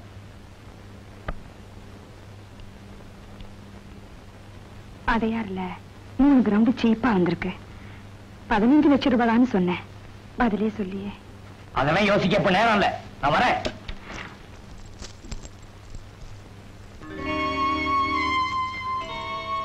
ஏப்பா அவரை போட்டு பணம் பணம்னு புடிங்க எடுக்கிற. நீ பேசாம ரெடி எனக்கு எல்லாம் தெரியும். இப்பவே ஜாக்கிரதையா இருந்ததா பின்னால நம்ம சௌரியமா இருக்க முடியும். புளியூர் சரோஜா நடன நாட்டிய கேந்திரம். இன்று மாலை ஆறு நாற்பத்தி அஞ்சு மணிக்கு சினிமா புகழ் செல்வி சாரி செல்வி டிஸ்கோ சாந்தி. ஓஹோ பங்கு பெறும் மாபெரும் போட்டி நடனம். தலைமை டைரக்டர் சக்கரவர்த்தி நம்ம டைரக்டர் சக்கரவர்த்தியா? ம், டைரக்டர் சக்கரவர்த்தியோட சம்சாரமும் ப்ரோக்ராம் வர்றாங்க போல இருக்கு. அவங்கள நான் பார்த்ததே இல்ல. நீ பாத்திருக்கியாடா நான் ஒரே ஒரு ப்ரோக்ராம் பார்த்திருக்கேன்.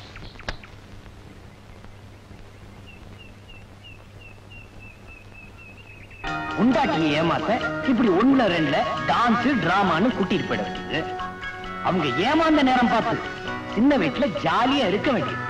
மிஸ்டர் சக்கரவர்த்தி உங்களை விட மாட்டேன் சார்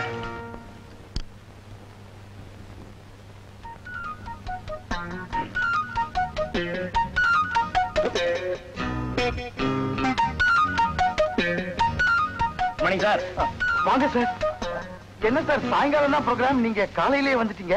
இல்ல சாயந்தரம் ஒரு ரெண்டு மணி நேரம் இங்க உட்கார்ந்து இருக்க போறோமே. சீட் எல்லாம் வசதியா இருக்கான்னு பாத்து போலான்னு வந்திருக்கேன். அதெல்லாம் நல்லா இருக்கும் சார் பாக்கணும் சார் வாங்க சார் பாக்கணும்னா வாங்க சார் அட வாங்க சரி சார். வாங்க சார் வாங்க. அட தேட்டர் சின்னதா இருந்தாலும் அம்சமா இருக்கு. என்ன சார்? முதல் முறையா வர்ற மாதிரி சொல்றீங்க? ஆமா முதல் முறையா தான் வரேன். இல்ல சார் நீங்க பல முறை வந்திருக்கீங்க பல நிகழ்ச்சிகளுக்கு தலைமை தாங்கிருக்கீங்களே ஓ ஆமா ஆமா ஆமா. என்ன எந்த வரிசையில உட்கார வைக்க போறீங்க?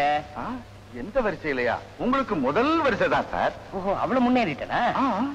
ஆமா எனக்கு எந்த சீட்டு கொடுக்க போறீங்க? என்ன சார் இப்படி கேக்குறீங்க? உங்களுக்கு போதான் சார் மத்தவங்களுக்கு. ஓஹோ அப்படிங்களா? நான் ரெண்டு டிக்கெட் தானே கேட்டிருந்தேன். மூணு சார். உங்களுக்கு ஒண்ணு உங்க ஒய்ஃபுக்கு ஒண்ணு உங்க மாமனாருக்கு ஒண்ணு. ஓ ஆமா ஆமா. இது வசதியா இருக்கு. இது எனக்கு இது என் பொண்டாட்டிக்கு இது என் மாமனாருக்கு. ஆ. சார் இன்னும் ரெண்டு டிக்கெட் வேணும் சார். தர்றேன் சார். இது என் தங்கச்சி பாப்பாவுக்கு இது பாப்பாவோட அக்காவுக்கு. என்ன சார்?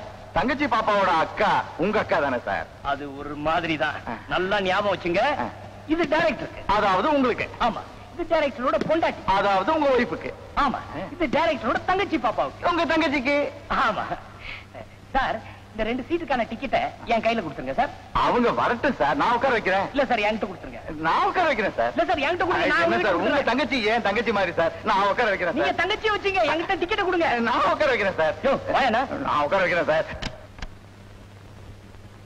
யோ குடுக்க சொல்லியாண்ணா சரி sir A six and seven director complimentary note பண்ணுங்க. வரட்டவா ஆ,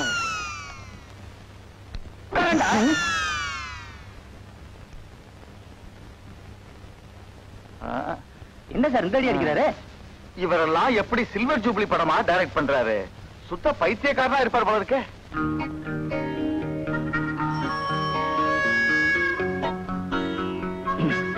பசங்களா இதே தெருவுல ஏழாம் நம்பர் வீட்டுல பாப்பான்னு ஒரு அக்கா இருப்பாங்க.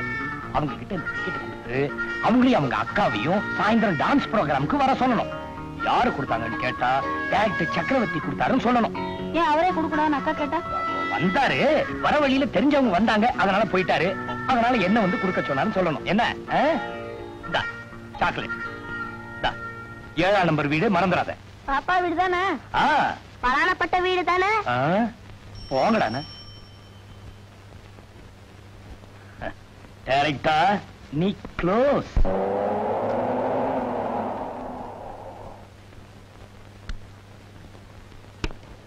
வாங்க சார் வாங்க. அம்மா வாங்கம்மா.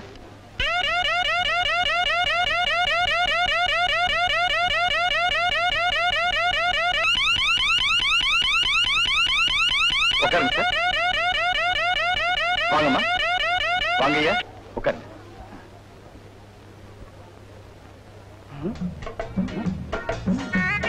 இந்த பெஞ்சில் உட்காருங்க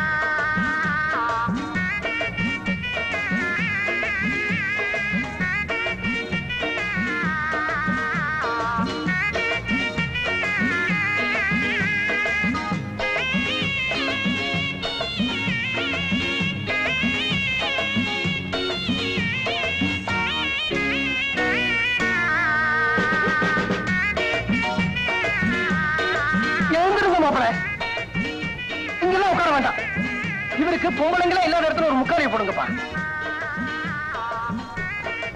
இப்படி உட்காருங்க. போயா பொம்பளைக்கெல்லாம் டிக்கெட் வித்துருக்குற. இப்படி உட்காரியானா ஆமா நீங்க வாங்க. இப்படி உட்காருங்க. சார் நீங்க அங்க உட்காருங்க. என்ன சார் காலையில நீங்க சொன்ன மாதிரி உட்கார வச்சுட்டேனா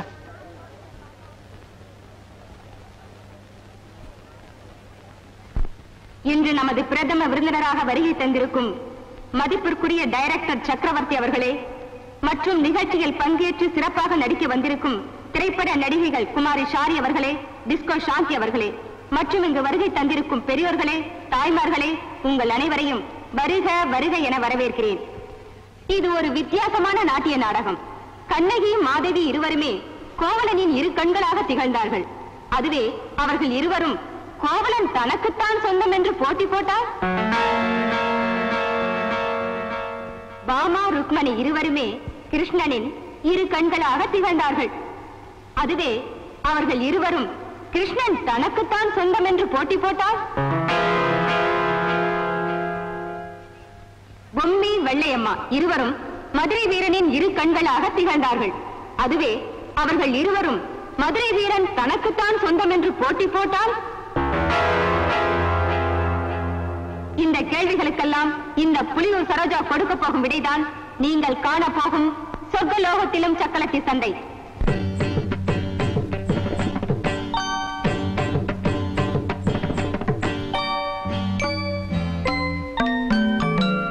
ஒருவனுக்கு ஒருத்தி என உறவு கொள்ள உரிமையுள்ள வண்ணமையில் கண்ணகியும் நானே. சீலம்பின் மணி சீதர மனம் சீதர தலைவன் அவன் திருச்சபையில்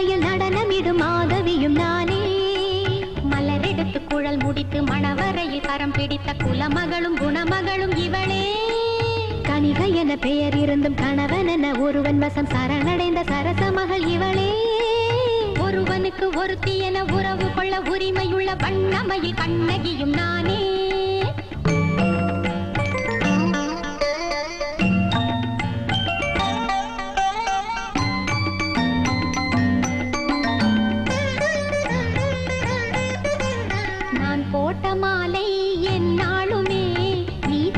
தீண்ட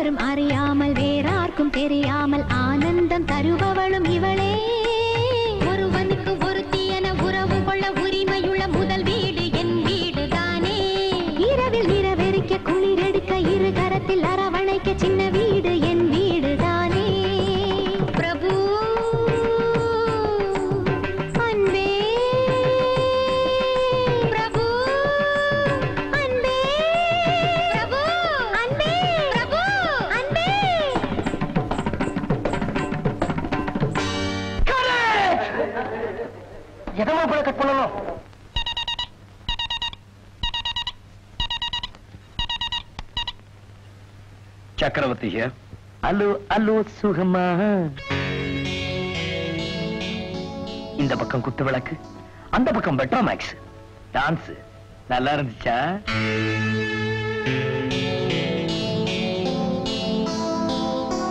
பக்தன் தப்பு பண்ணினா தெய்வம் தண்டிக்கும். தெய்வம் தப்பு பண்ணினா பக்தன் கண்டிக்கணும். நான் உன்னை தண்டிக்கலப்பா. கண்டிக்கிறேன். அவ்வளவுதான் கண்ணு. யார் சார் நீங்க? டைரக்டருக்கு டைரக்டர் இயக்குனருக்கு இயக்குனர் கோவலனுக்கு காவலன்.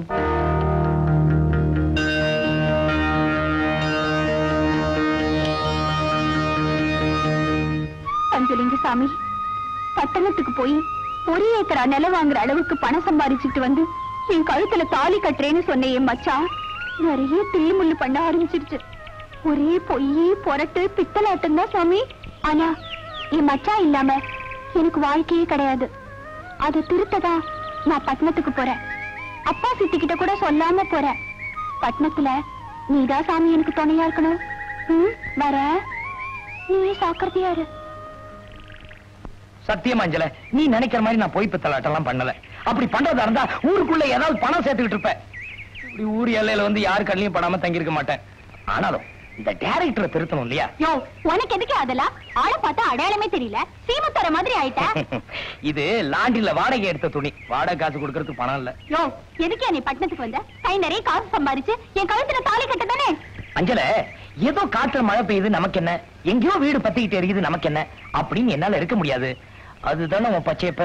சரியா அவ்வளவுதானே. இனிமே இந்த அஞ்சலை மறந்துடு டேய் பச்சையப்பா. வாழ்க்கையில உனக்கு அஞ்சலையை விட வேற யாருடா முக்கியம்? போய் அந்த டைரக்டர் கிட்ட நடந்ததெல்லாம் சொல்லு. போ. போடா. போனாங்க யோ மனசாட்சி நான் டைரக்டரை தொந்தரவு பண்றதை விட நீ என்ன அதிகமாவே தொந்தரவு பண்ற. சரி நீ சொன்னபடியே நான் செய்யறேன்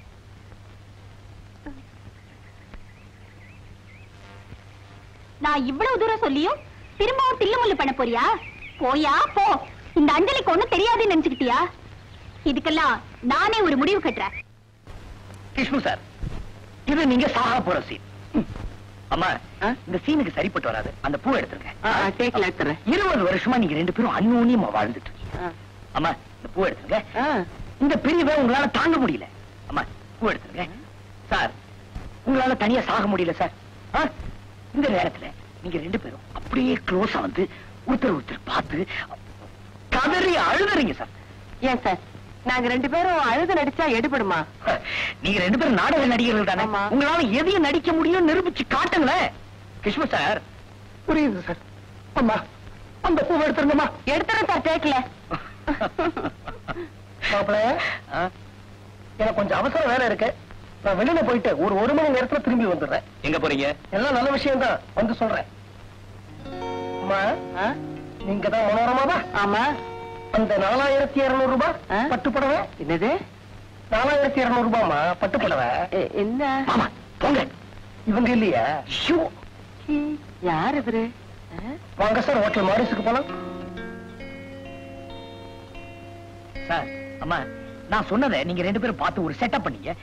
நான் ஒரு ஒன் ஹவர்ல வந்துடுறேன் ஓகே சேது ஒரு ஃபார்ட்டி ஃபைவ் மினிட்ஸ்ல வந்துடுறேன். லைட்டிங் கொஞ்சம் எழுத்துக்க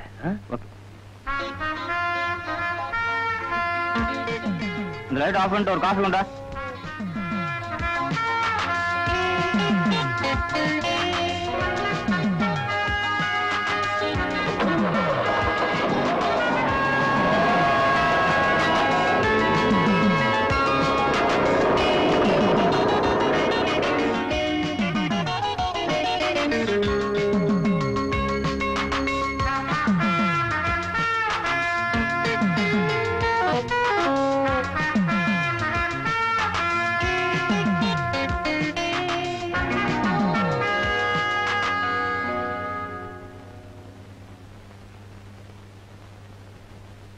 டேய் பச்சையப்பா.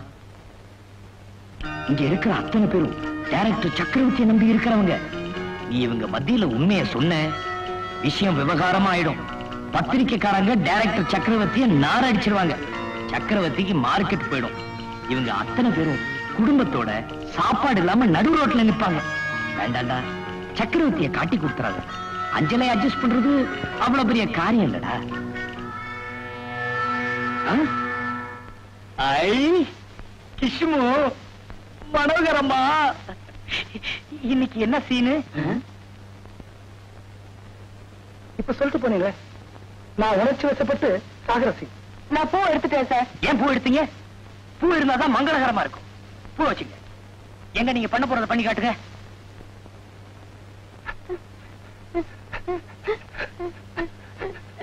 ஐயையே, நீங்க ரெண்டு பேரும் சிரிப்பு நடிகர்கள். சீன்ல வந்தாவே சிரிப்பு சிரிப்பா வரும். இப்படி அழுவா யார் பார்க்க போறாங்க? பாருங்க நீங்க சாகிறதா இருந்தா கூட சிரிச்சுக்கிட்டே சாகணும். இவங்க செத்ததுக்கு அப்புறமா நீங்க சிரிக்கணும். பூ வச்சுங்க. என்னங்க? நான் செத்ததுக்கு அப்புறம் அவங்க மட்டும் சிரிக்கணுமா? நானும் சிரிக்கலாமா எதுக்கு கேட்டேன்னா கட்டிலேயே கஷ்டப்பட்டு சாகணுமா? ஆள் வரைக்கும் போய் ஜாலியா ஓடி பிடிச்சு விளையாடிட்டு சாகலாமா? நல்லா இருக்கும். நல்லா இருக்கு ஹாலுக்கு நடந்து போலாமா? இல்ல டான்ஸ் ஆடிக்கிட்டே போலாமா? நல்லா இருக்கு நல்லா இருக்கு சார் அப்ப இந்த ஹால் பூரா லைட்டிங் செட் பண்ணிக்குவா? யாரு இந்த ஆளு? உங்க கேமராமேன் சார் ஸ்டுடியோ பூரா விளக்கேத்துவீங்க கிஷ்மு மனோகரம்மா பூவை கொண்டாப்பா? எனக்கு கொஞ்சம் கொண்டாப்பா. வச்சுக்கிறேன். தமாஷா இருக்கும். ஸ்டுடியோ நம்மள போகப்படுதுமா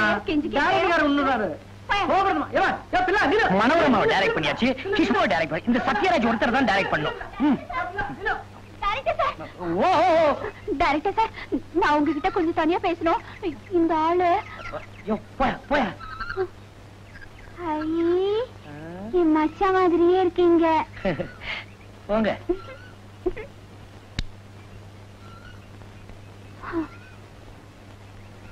டைரக்டர் சார் டைரக்டர் சார் என்ன உங்க தங்கச்சி மாதிரி நினைச்சுக்கோங்க. என் மச்சான் உங்கள மாதிரி இருந்துகிட்டு நிறைய தில்லுமுள்ள எல்லாம் பண்ணுது.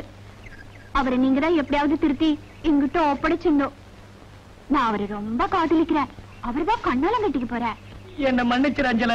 நான் தான் உன் மச்சான் பச்சையப்ப. அரை மணி நேரமா டைரக்டர் ஆக்ட் பண்ணிட்டு இருக்கேன். வந்து கிஷ்மா டைரக்ட் பண்ணிட்டேன். மனோரமா டைரக்ட் பண்ணிட்டேன். சத்யராஜ் தான் பாக்கி. அஞ்சல! அஞ்சல அஞ்சல.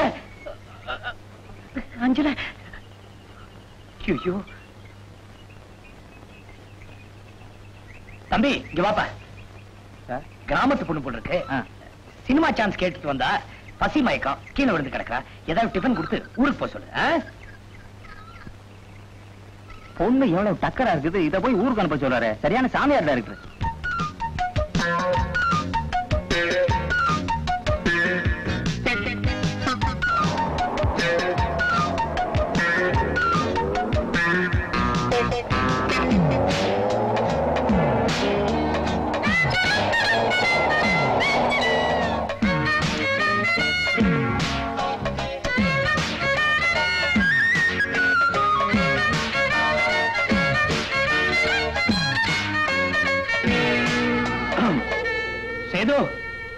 ரெடி சார் கொஞ்சம் லேட் ஆயிடுச்சு. ஆ? என்னம்மா இது? பூ எடுக்க சொன்னனே. மறக்காம டேக்ல எடுத்துங்க ஆ? கிஷ்மு சார். சார் ரெடியா அம்மா ரெடியா ஒரு மானிட்டர் பாப்போம் ஆக்ஷன் ஆக்ஷன் ரெடி கண்ணே நீ இல்லாத வாழ்க்கை. நிலவில்லாத வானம். நீர் இல்லாத ஆறு. மரம் இல்லாத காடு. மணல் இல்லாத பாலைவனம். கண்ணா நீ இல்லாத வாழ்க்கை நிலவில்லாத வானம் நீரில்லாத ஆறு மரமில்லாத காடு மணலில்லாத பாலைவனம். கண்ணே இல்லாத வாழ்க்கை நிலவில்லாத வானம் நீர் இல்லாத ஆறு மரமில்லாத காடு மணல் இல்லாத பாலைவனம். கண்ணே. பாட்டுக்க. அடிக்க நீ இல்லாத வாழ்க்கை நீரவில்லாத வானம் நீரில்லாத ஆறு. மரமில்லாத காடு மணலில்லாத பாலைவனம் Correct!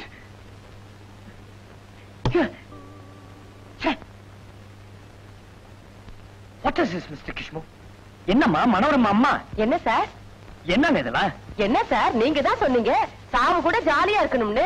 இதை விட ஜாலியா எப்படி சாக முடியும்? வேணும்னா ஒண்ணு பண்ணலாம். என்ன? நாங்க ரெண்டு பேரும் கடைசியா கட்டி பிடிச்சிருந்தோமே அப்படியே டபக்கரிய மண்டை சாயுது நான் செத்து போயிடுறேன். உங்க வீட்டுல சிரிப்பாங்க குழந்தைங்க. அப்படியே சுத்துறீங்க நல்லா இருக்கும் ஓ, யோ சேது என்ன இதெல்லாம் ஆமா சார் நீங்க தானே ஃபுல் ஃப்ளோர் ரைட் பண்ண சொன்னீங்க. பண்ணிட்டேன். நான் நான் ஃபுல் ஃப்ளோர் லைட் பண்ண சொன்னேன். ஏயா சோஃபா சேர் ஏதாவது இருக்கா ஃபுல் ஃப்ளோர் லைட் பண்றதுக்கு? யோ நரசிம்மா சார். கேமராமேனுக்கு பைத்தியம் பிடிச்சு போச்சியா? இல்ல சார் நீங்க தான் சார் சொன்னீங்க. யாரு சொன்னாக சொல்லலங்கிறத பத்தி பிரச்சனை இல்ல சார். அவங்க இப்ப ரெண்டு பேரும் நடிச்சாங்களே அது ரொம்ப நல்லாவே இருந்துச்சு. அது அப்படியே போட்டோ பிடிச்சு கொடுத்துட்டீங்கன்னா அடி ஆத்தி படம் நூறு நாளுதே. Shut up! Break!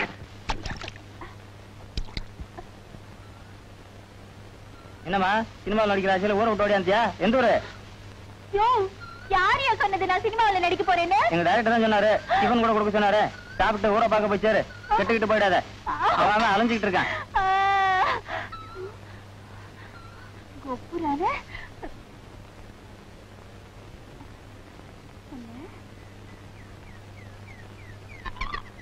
என்னம்மா சினிமா சான்ஸா நீ எல்லாம் ஒரு மனுஷன் யார் மேல அடி துப்புற?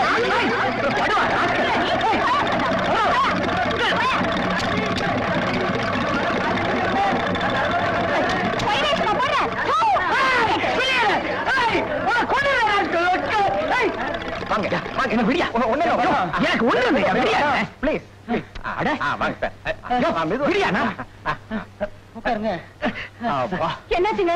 என்னாச்சு உங்களுக்கு? பயப்படாதீங்க. நம்ம டைரக்டரை ஒரு வாட்ட குத்தாலத்தை கூட்டிட்டு போங்க. அந்த அருவி தண்ணி மண்டையில விழுந்ததுன்னா எப்பேற்பட்ட பைத்தியமானாலும் குணமாயிடும். சுத்த காட்டு முன்னாடித்தனமான வைத்தியம் சார் டாக்டர் கோவம் இல்ல அம்மா கீழ்பாக்கு மென்டல் ஹாஸ்பிட்டல்ல எனக்கு தெரிஞ்ச சைக்காட்டிஸ்ட் ஒருத்தர் இருக்காரு. அவர்கிட்ட கூட்டிட்டு போய் ஒரு வாரம் ட்ரீட்மெண்ட் கொடுத்தா எல்லாம் சரியாயிடும். அதை விட்டுட்டு அருவி தண்ணி கொட்டணும். அடி ஆத்தி எதுவா இருந்தாலும் பணத்தை முடிச்சு கொடுத்ததுக்கு அப்புறம் வச்சுக்க சொல்லுங்க சார். நாற்பத்தி ஏழு லட்சம் ரூபாய நான் முதலீடு பண்ணி வச்சிருக்கேன் சார். அதுக்குள்ளார நான் பைத்தியக்கார ஆஸ்பத்திரிக்கு போயிருவோம் போல இருக்கேன் சார். அடி ஆத்தி. யோ, போ,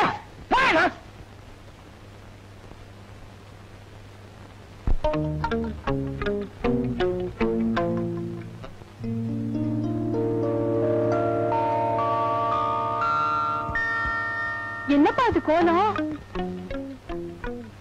நான் ஒரு படம் டைரக்ட் பண்ண போறேன். டைரக்ஷன் பத்தி உங்களுக்கு என்ன தெரியும்? நானும் அதே தான் ப்ரொடியூசர் கிட்ட கேட்டேன். அப்புறம் என்ன சொல்றாரு தெரியுமா? நீங்க ரெண்டு மாசமா டைரக்டர் சக்கரவர்த்தி கூட ஷூட்டிங்க நல்லா வேடிக்கை பாக்குறீங்க. அதனால உங்களால டைரக்ட் பண்ண முடியும். அந்த நம்பிக்கை எங்களுக்கு வந்தாச்சு. அப்படின்னு சார் உங்களுக்கு நம்பிக்கை வரலன்னு சொல்ல வேண்டியதானப்பா நான் எவ்வளவுதாம்மா சொல்றது? டைரக்டர் சக்கரவர்த்தி கல்யாணத்துக்கு முன்னாடி டைரக்ட் பண்ணாரான்னு கேட்டாரு. இல்ல கல்யாணத்துக்கு அப்புறம் தானே டைரக்ட் பண்ணாரு? அப்படின்னாரு. ஆமாண்ணே.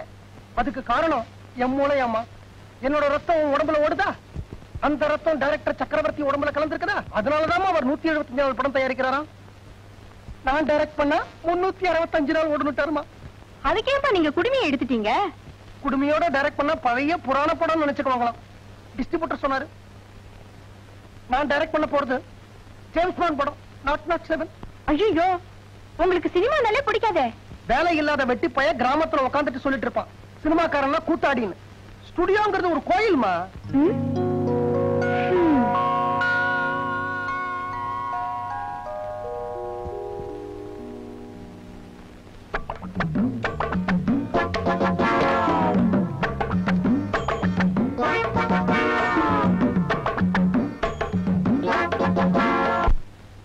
என்னங்க? ம், என்னங்க? என்ன? நம்ம குத்தாலத்துக்கு போலாமா கீழ்பாக்கத்துக்கு போலாமா? என்னது? போடி. காபி. காபி வேணா மண்ணு வேணா போடின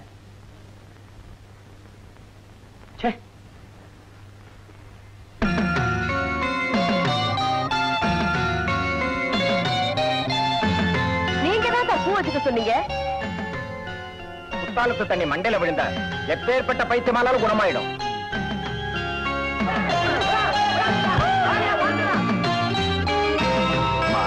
கீழ்பாக்கு மென்டல் ஹாஸ்பிட்டல்ல எனக்கு தெரிஞ்ச சைக்காட்டிஸ்ட் ஒருத்தர் சார்.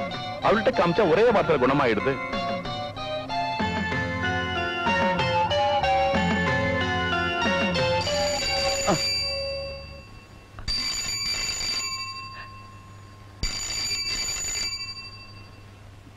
சக்கரவர்த்தி நலந்தா உன்னால அறிமுகப்படுத்தப்பட்ட சாதாரண நடிகன் சாதாரண நடிகை உனக்கு கீழே முப்பது படமா வேலை செய்யற கேமராமேன் அசிஸ்டன்ட் டைரக்டர்ஸ் இவங்க எல்லாம் என்ன பேசிக்கிறாங்க தெரியுமா? டைரக்டருக்கு நட்டு கழண்டு போச்சு ஸ்க்ரூ லூஸ் ஆயிடுச்சு. கண்ணு இனிமேலும் உனக்கு சின்ன வீடு தேவையா?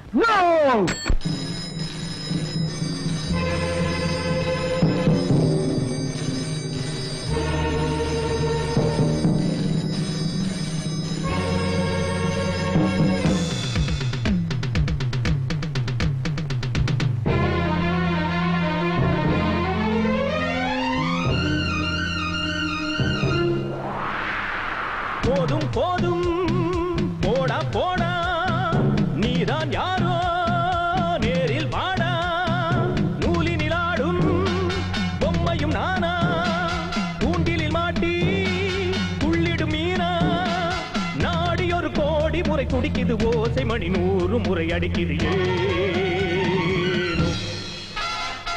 போதும் போதும்.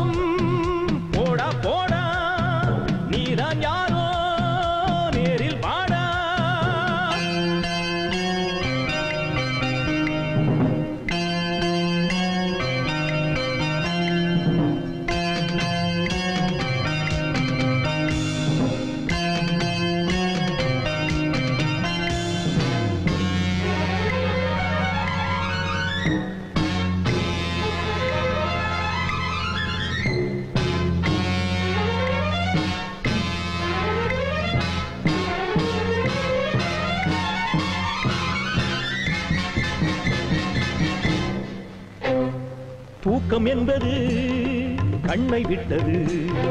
துன்பம் என்பது நெஞ்சை தொட்டது. பூர்வ ஜென்ம பாவம் என்று சொல்லலாமோ?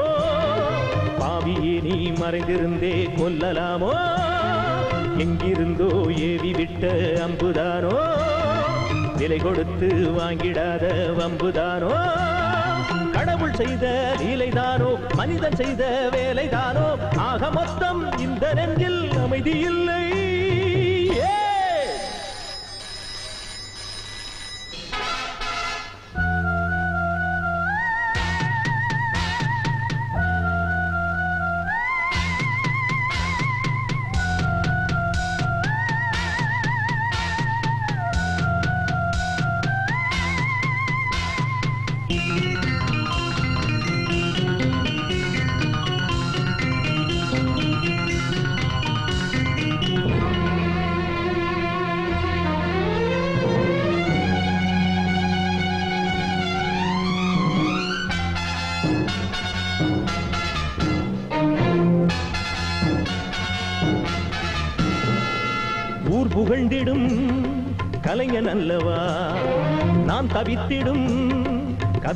அல்லவா கற்பனைகள் சிந்தனைகள் ஓடவில்லை. ஏமராவும் சொன்ன பேச்சை கேட்கவில்லை. நேற்று வரையில் இந்த நெஞ்சில் அச்சமில்லை. சேர்த்து வைத்த வீரம் இன்று மிச்சமில்லை. காலம் செய்த கோலந்தானோ தவறி போன தாளந்தானோ கேள்வி மட்டும் இங்கிருக்கு விடைகளில்லை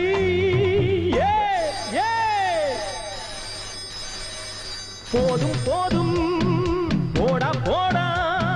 நீதான் யாரோ நேரில் பாடா. நூலினில் பொம்மையும் நானா. தூண்டிலில் மாட்டி உள்ளிடும் மீனா நாடி ஒரு கோடி முறை துடிக்குது ஓசை மணி நூறு முறை அடிக்கிறியே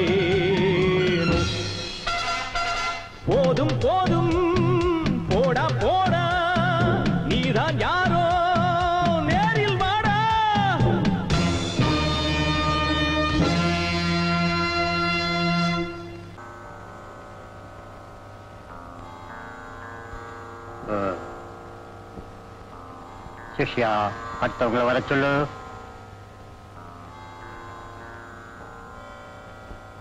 அடுத்தது யாரு? வாங்க.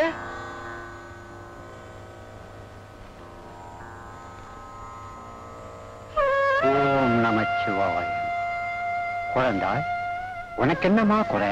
சாமி என் புருஷன் என்னை விட்டுட்டு போயிடுறோன்னு எனக்கு ரொம்ப பயமா இருக்கு. நீங்க தான் எனக்கு அருள் செய்யணும். கவலைப்படாத மகளே இந்த மஞ்ச கயிற்ற உன் புருஷனோட வலது கையில கட்டு. அவன் வேலைக்கு போயிருந்தாலும் சரி வெளியூர் போயிருந்தாலும் சரி நீ உன் வீட்டுல உன் குல தெய்வத்தை நீ பக்தியோட கும்பிட கும்பிட இந்த மஞ்சள் கைத்தோட மகிமை உன் புருஷன் உன் பக்கமா ஓடோடி வருவான் ஓடோடி வருவான். ஹரி ஓம் சாந்தா சக்குபாய் சிஷ்யா அடுத்தவங்களை வர சொல்லு. அடுத்தது யாரு? வாங்கம்மா போங்கம்மா போங்கம்மா சாந்த பத்திரகாளி குழந்தை உனக்கு என்னம்மா குறை? சுவாமி இவ என் தங்கச்சி. இவளுடைய புருஷன் இவளை விட்டு போயிடுவாரோன்னு ரொம்ப பயமா இருக்கு சுவாமி. நீங்க தான் அருள் புரியணும். கவலைப்படாத மகளே. இந்த மஞ்சள் கயிற்ற இவ புருஷனோட வலது கையில கட்டச் சொல்லு. அவன் வேலைக்கு போயிருந்தாலும் சரி வெளியூர் போயிருந்தாலும் சரி உன் தங்கச்சி உங்க குலதெய்வத்தை வீட்டுல பக்தியோட கும்பிட கும்பிட இந்த மஞ்சள் கயிற்றோட மகிமை இவ புருஷன் இவ பக்கமா ஓடோடி வருவான் ஓடோடி வருவான் சுவாமி ஒரு சின்ன சந்தேகம். என்னம்மா? இத வலது கையில தான் கட்டணுமா? இல்ல இடது கையிலும் கட்டலாமா? ஏமா அப்படி கேக்குற? ஏற்கனவே வலது கையில பெரிய வீடு இதை கட்டி இருந்ததுன்னா சிவசிவா செந்திராண்டவா இது என்னடா சோதனை? சின்ன வீட்டுக்கு மஞ்சள் கயிறு கொடுத்துட்டேனா. உங்க இஷ்டத்துக்கு பத்திரிக்கையில டைரக்டர் இப்பெல்லாம் ஏடா கூடமா நடக்கிறாருன்னு சொல்லி எழுதிட்டீல இப்ப பாத்தீங்களா? எவ்வளவு அழகா தெளிவா உட்கார்ந்து கதை எழுதிக்கிட்டு இருக்கிறார் ஐயா. மன்னிச்சிருங்க சார். டைரக்டர் இப்ப நல்ல மூட்ல தான் இருக்காரு. அதை நாங்க நேராவே பார்த்துட்டோம். சாரி சார் போன வாரம் நாங்க எழுதுனதுக்கு இந்த வாரம் மறுப்பு போட்டுறோம். பெருசா போட்டு விட்டுருங்க.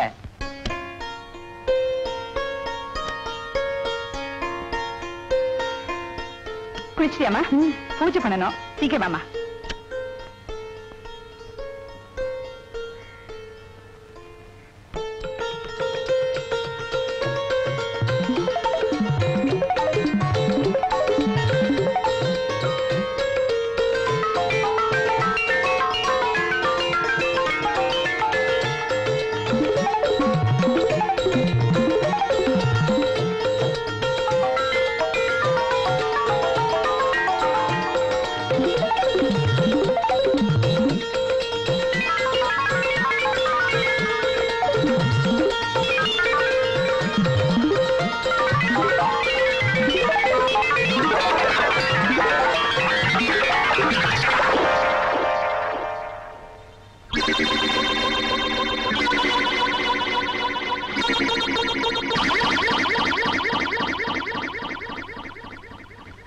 டைரக்டர் நல்ல மனநிலையில தான் இருக்காரு.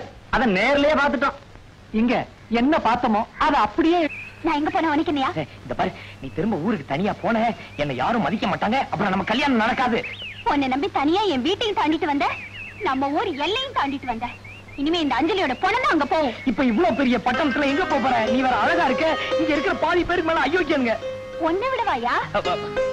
அப்புறம் சோறு தண்ணி இல்லாம பட்னியா சாக போற? இந்த ஊர்ல நல்லவங்களும் இருக்காங்க. இந்த அஞ்சலிக்கு ஒரு வேலை கிடைச்சிருக்கு. அங்க போய் இவ வயத்தை கழுவிக்குவா. இந்த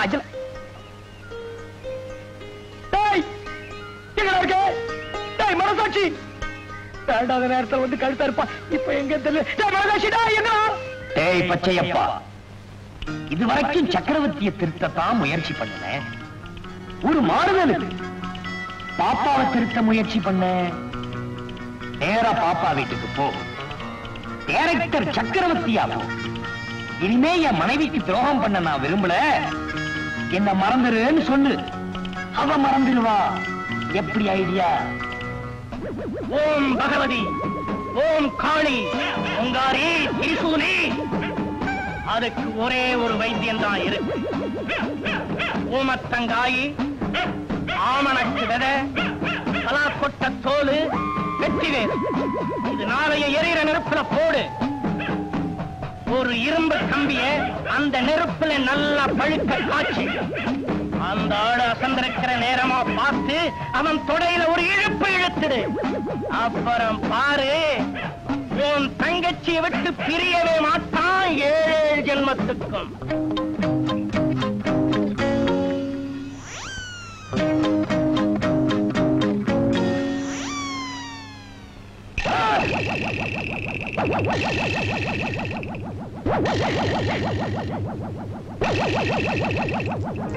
வாங்க வாங்க வாங்க வாங்க.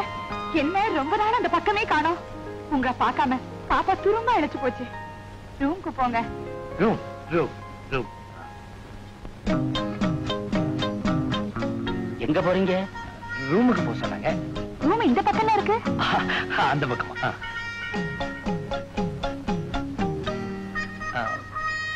இந்த ரூமா இந்த ரூமா இந்த ரூம் தான் புதுசா கட்டிருக்கீங்களா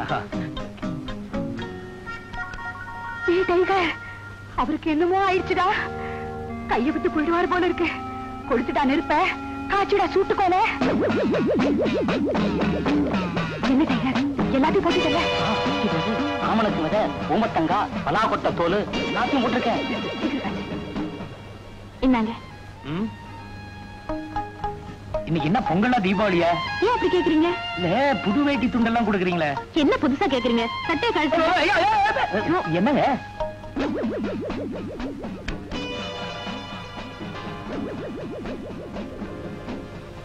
என்னம்மா?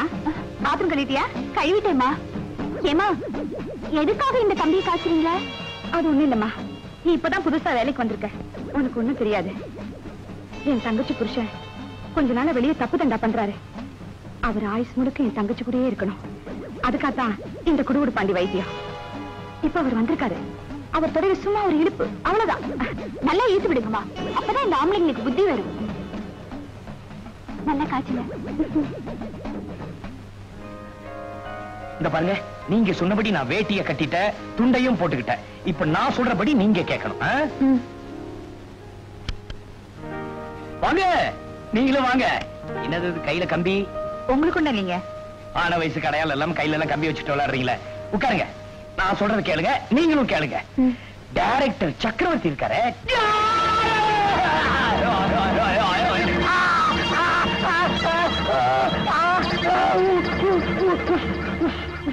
நல்லா இருப்பீங்களா? சூடு வச்சுட்டீங்களா.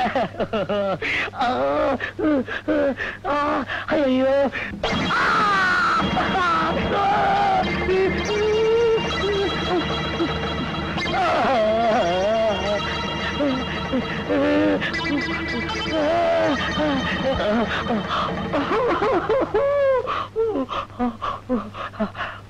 புதுசா இருக்கால யார் இந்த பொண்ணு? கிராமத்து பொண்ணு. அவளுக்கு ஒண்ணும் தெரியாது. இன்னைக்குதான் புதுசா வேலைக்கு சேர்ந்திருக்கா. உன் பேர் என்னம்மா? அஞ்சல. அஞ்சலையா? எங்க. துணிய மாத்திக்காம போறீங்களே? ஏற்கனவே துண்ட கணம் துணிய காணும் இருக்க. இந்த நேரத்துல துணியா? ஐயோ என் காலு. ஏமா இப்ப வந்தவரு பாப்பாவோட புருஷன் இல்ல டைரக்டர் சக்கரவர்த்தின்னு எனக்கு நல்லா புரிஞ்சு போச்சு. இது இந்த மாதிரி வீடுன்னு தெரிஞ்சிருந்தா நான் வேலைக்கே சேர்ந்திருக்க மாட்டேன். ஏமா ஒரு நல்ல குடும்ப பொண்ணுக்கு பெரிய துரோகம் பண்ணிட்டு உங்க தங்கச்சி வாழ்க்கையை விளங்க வைக்க பாக்குறீங்களே? நீங்களா நல்லா இருப்பீங்களா போடி வழிய. சர்தம் போடிடா. சர்தம் போமா நான் என் துணியை எடுத்துட்டு போறேன்.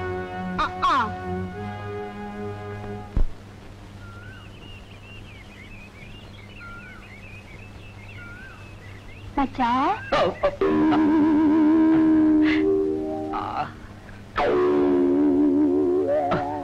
வந்துட்டியா அஞ்சல?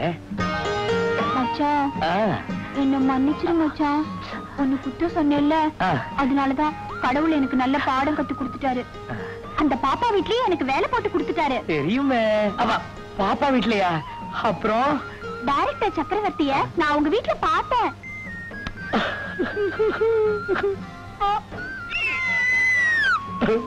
மச்சான் அவர் எவ்வளவு நல்லவரா இருக்காரு தெரியுமா? அவர் அவங்க வலைக்குள்ள போடுறதுக்காக இரும்பு தெரியுமா இரும்பு? அத பழுக்க காய வச்சு அவர் தொடையில ஒரு இழு இழுத்துட்டாங்க.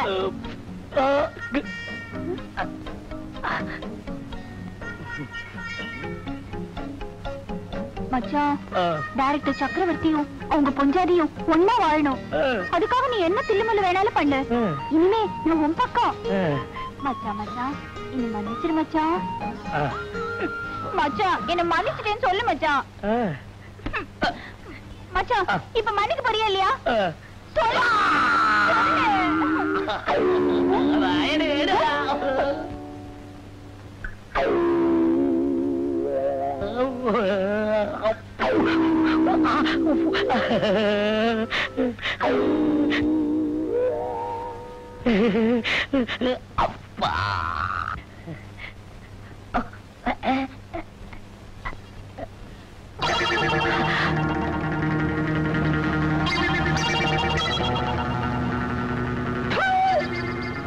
அஞ்சலே அஞ்சலே இரு நான் சொல்றதை கேளு.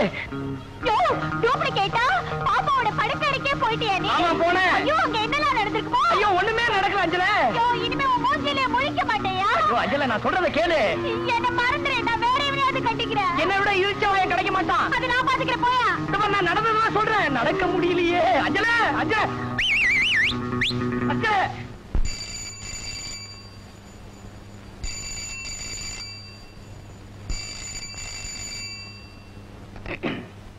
மன்னிக்கணும் என்னுடைய ப்ரொடியூசருக்கும் நான் இந்த டெலிபோன் நம்பரை தான் கொடுத்துருக்கிறேன்.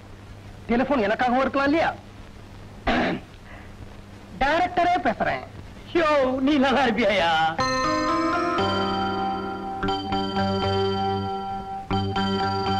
யோ நீ எக்கேடு கேட்டு போனா எனக்கு என்ன? உன்னால என் காதலே கந்தலா போச்சு.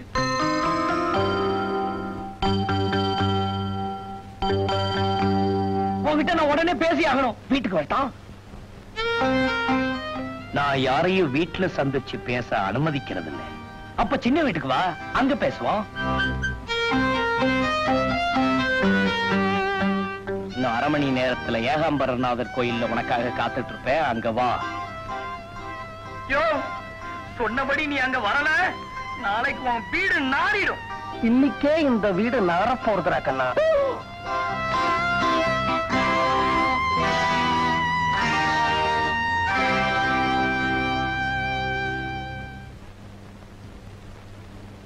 மாப்பிள.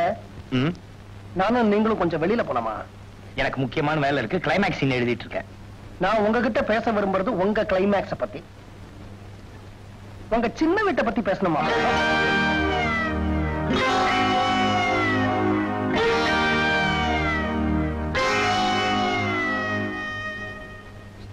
நடந்த விஷயத்தை எல்லாம் ஒண்ணு விடாம நீங்க என்கிட்ட சொன்னீங்கன்னா நீங்களும் ஆம்பளை நானும் ஆம்பளை. என் பொண்ணு காதுக்கே விஷயம் எட்டாம உங்களை நான் காப்பாத்திருவேன் ஒருவேளை நீங்க என்கிட்ட சொல்ல கூச்சப்பட்டீங்கன்னா என் பொண்ணை அனுப்புற அவகிட்ட சொல்லுங்க. மாமா. என்ன காப்பாத்துங்க. ஒண்ணு விடாம சொல்லுங்க.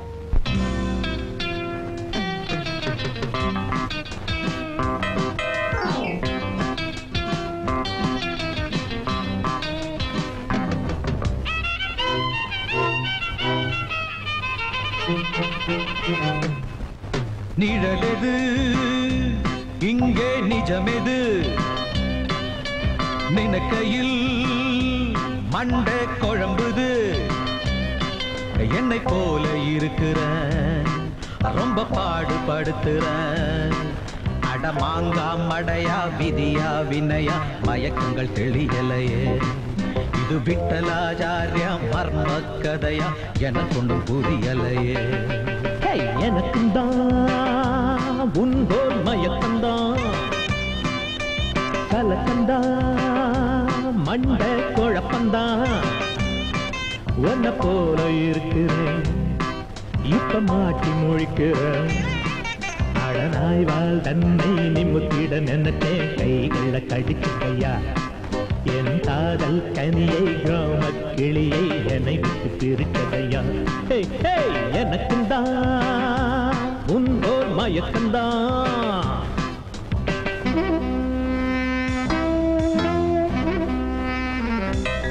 மாப்பிள்ளை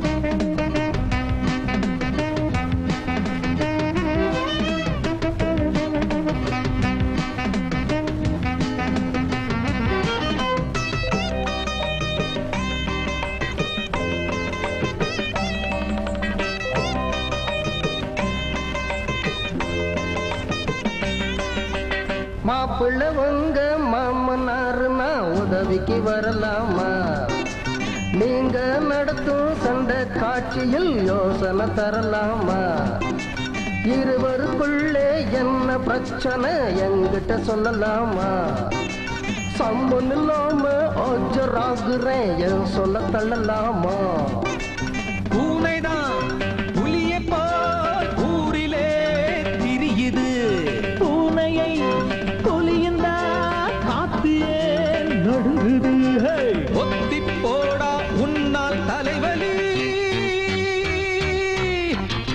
ஒரிஜினல் சார்தா ஒரிஜினல்.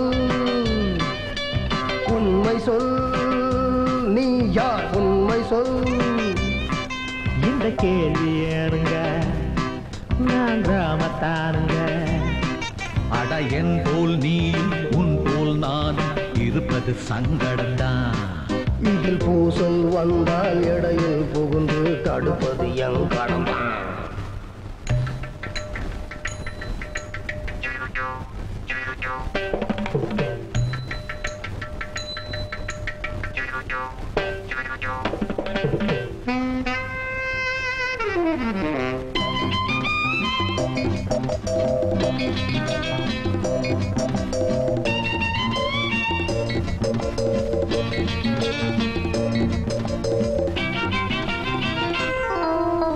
நீ வந்த வேளை தூக்கம் போச்சுடா நிம்மதி எனக்கில்லை. நீ பண்ண வேலை தப்பு காரியம் எல்லாம் மேல கட்டிய மனைவி சண்டை போடுறா நீ செஞ்ச வினைதானே. காதலி எனைய விட்டு ஓடினா காரணம் நீதானே. போயா இருவரை ஒன்று போல் இறைவன் ஏன் படைக்கணும்? பொருத்தனின் வழிகளை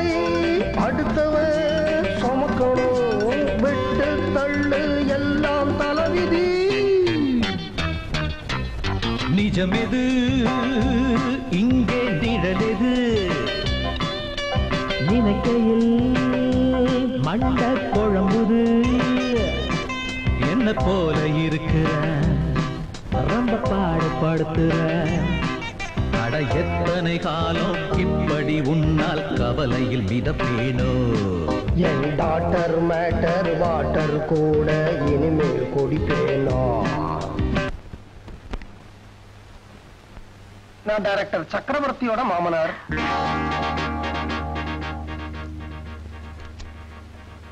உள்ள வாங்க.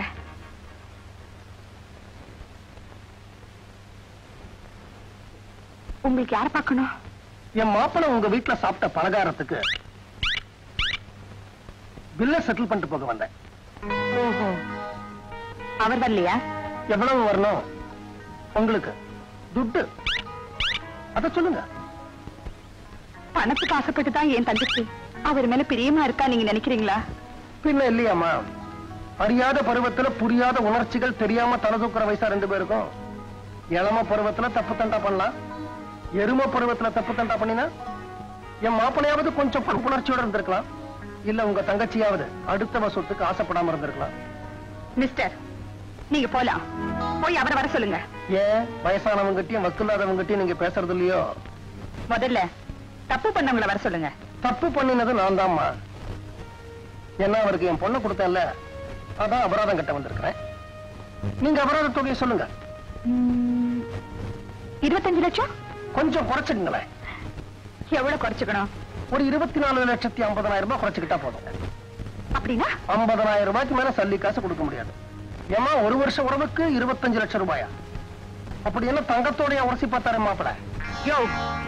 இன்னும் நாற்பத்தெட்டு மணி நேரத்துல இருபத்தஞ்சு லட்சம் ரூபாய் கேஷாவோ செக்காவோ ப்ராப்பர்ட்டியாவோ எனக்கு வந்தாகணும். வரலன்னா கோர்ட்டுக்கு போயிடுவீங்களா?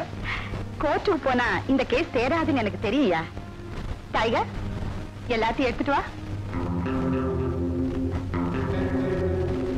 உங்க மாப்பிள்ளையோட பேரை மூளைக்கு மூளை தந்தி சிரிக்க வைப்பேன். அவருடைய இமேஜ நட்பாத்துல கொண்டு போய் இறக்குவேன். எப்படின்னு கேக்குறீங்களா? வாடா டைகர் இந்த போட்டோஸ் எல்லாம் கார் பார்க்கணுமாண்டா?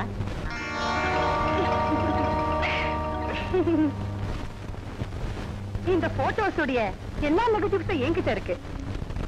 ஒவ்வொரு பத்திரிக்கை ஆபீஸுக்கும் ஒவ்வொரு நெகட்டிவ் போகும். தெரு தெருவா போஸ்டர் அடிச்சு ஓட்டுவேன் அம்மா நான் அவ்வளவு தூரம் சிரமப்பட மாட்டேன். ஒரே ஒரு டெலிபோன் போலீஸ் ஸ்டேஷனுக்கு எட்டனாதான் செலவு? என்ன சொல்வேன் தெரியுமா? மாப்பிள?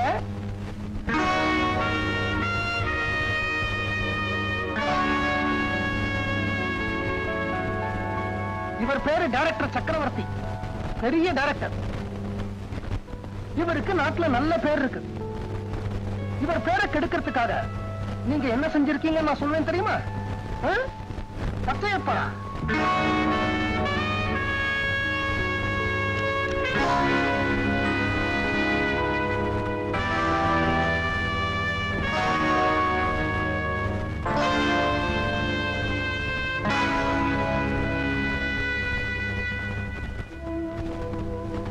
ஏக்கா நான் போலீஸுக்கு என்ன சொல்வேன்னு சொல்லலையே. நான் என்ன சொல்வேன்? நீங்க இந்த பச்சையப்பன மாதிரி ஒரு ஆளை ஏற்பாடு பண்ணி அவனை உங்க தங்கச்சிக்கு செட்டப் பண்ணி போட்டோ எல்லாம் எடுத்து இந்த டைரக்டர் சக்கரவர்த்தியை பயமுறுத்துறீங்கன்னு சொல்லுவேன். உங்க மூணு பேருக்கும் தலா ஏழு வருஷம் கிடைக்கும். இப்ப நீங்க முடிவு பண்ண வேண்டியதெல்லாம் ரெண்டே ரெண்டு தான். இந்த போட்டோல இருக்கிறது சக்கரவர்த்தியா பச்சையப்பனா? உங்க தங்கச்சி சக்கரவர்த்திக்கு சின்ன வீடா? பச்சையப்பனுக்கு பெரிய வீடா? உங்களுக்கு வேண்டியது ஏழு வருஷமா இல்ல ஐம்பதனாயிரமா? முடிவெடுத்து சொல்லுங்கம்மா.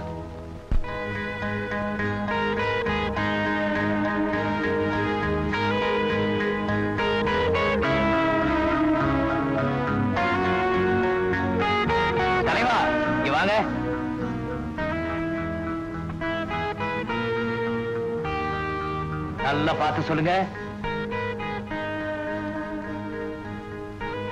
இருபத்தஞ்சு லட்சமா ஏழு வருஷங்க. போங்க.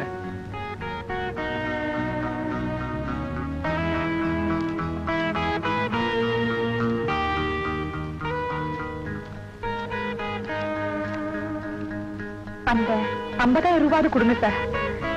நாங்க ஊரை விட்டு ஓடிடுறோம். செக்கை ஏற்கனவே எழுதி வச்சாச்சுனா ம்.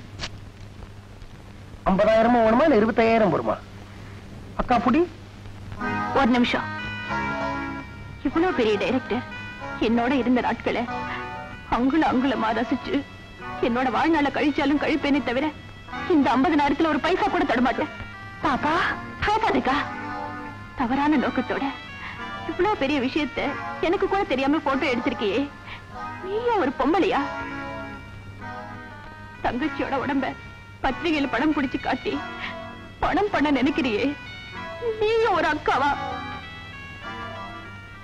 டைரக்டர் சார் உங்ககிட்ட என் மனசு தான் வித்து உடம்பு வைக்கல.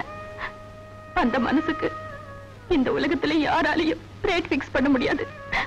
போயிட்டு வாங்க. பாப்பா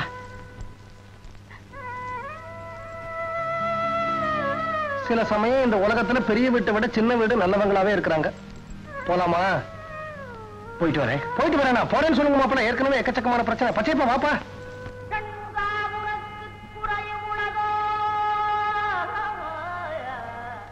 அம்மா உமா உன்னை நான் எதுக்கு கோயிலுக்கு கூட்டிட்டு வந்தேன் தெரியுமா? தெரியலையேப்பா. உன் புருஷன் தாம்பத்திய வாழ்க்கைன்னு ஒரு படம் எடுக்கிறாருமா? அதுல பாரு ஹீரோயின் சரியா கால் ஷீட் கொடுக்காததுனால நடுவுல கொஞ்ச நாள் நாய்ப்பாடு பேய்ப்பாடு பட்டிருக்கிறாரு.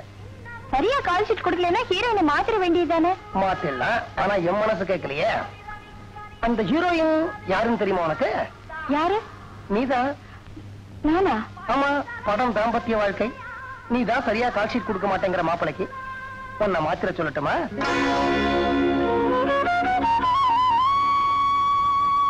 உங்களை மாதிரி பொம்பளைங்களுக்கு கடவுள் பக்தி இருக்கணும். இல்லைங்கள ஆனா நீங்க கடவுள் யாருங்கறத சரியா புரிஞ்சுக்கணும். ஒவ்வொரு பொம்பளைக்கும் புருஷன் தாமா கடவுள. இத்தனை நாளும் வீட்டை கோயிலாக்கிட்டு இருந்தேன். இப்ப கோயிலுக்கு கூட்டிட்டு வந்திருக்கிறேன். இதை வீடாக்க வேண்டியது மகளே உன் சமத்து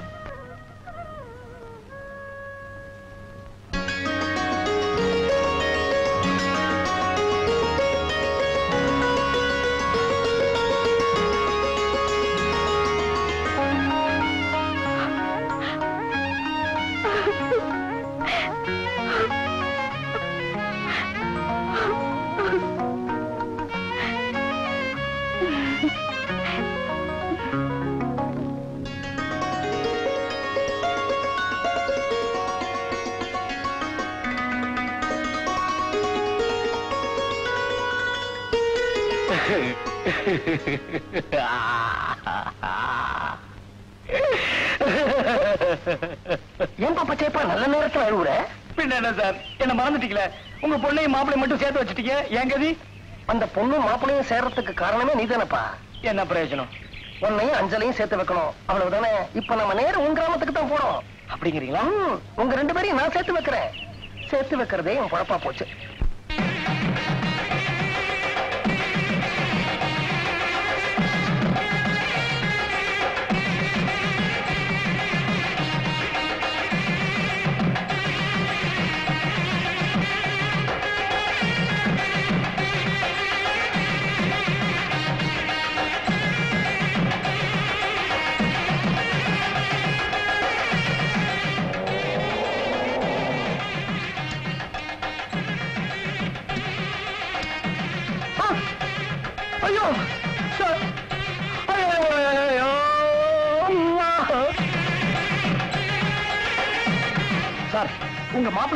இருந்து காப்பாத்தினா அஞ்சலி எனக்கு கல்யாணம் பண்ணி வைக்கிறேன்னு சொன்னீங்களே? எவ்வளவு ஒருத்தன் அவன் கழுத்துல தாலியை கட்ட போறான். சார் கல்யாணத்தை நிறுத்துங்க சார்.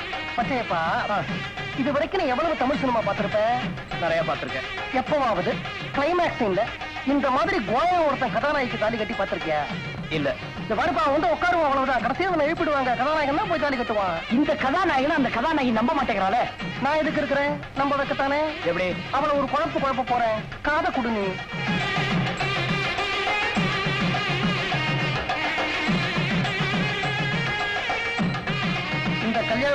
கல்யாணத்துல வாசிக்கிறதுக்கு உங்களுக்கு எவ்வளவு பணம் கொடுத்தாங்க? நூறு ரூபாய் அப்படியா?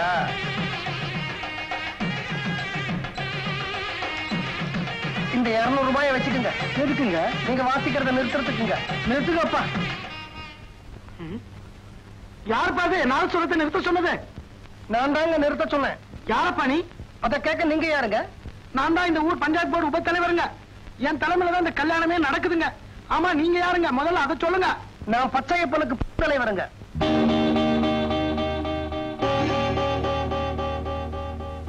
ஐயா உபதலைவரே அவ காதலிச்சது ஒருத்தனை கட்டிக்க போறது இன்னொருத்தனை. இது எந்த ஊர் நியாயமுங்க? அவ யார காதலிச்சா? பச்சையப்பனை. அதுக்கு சாட்சி இருக்கா?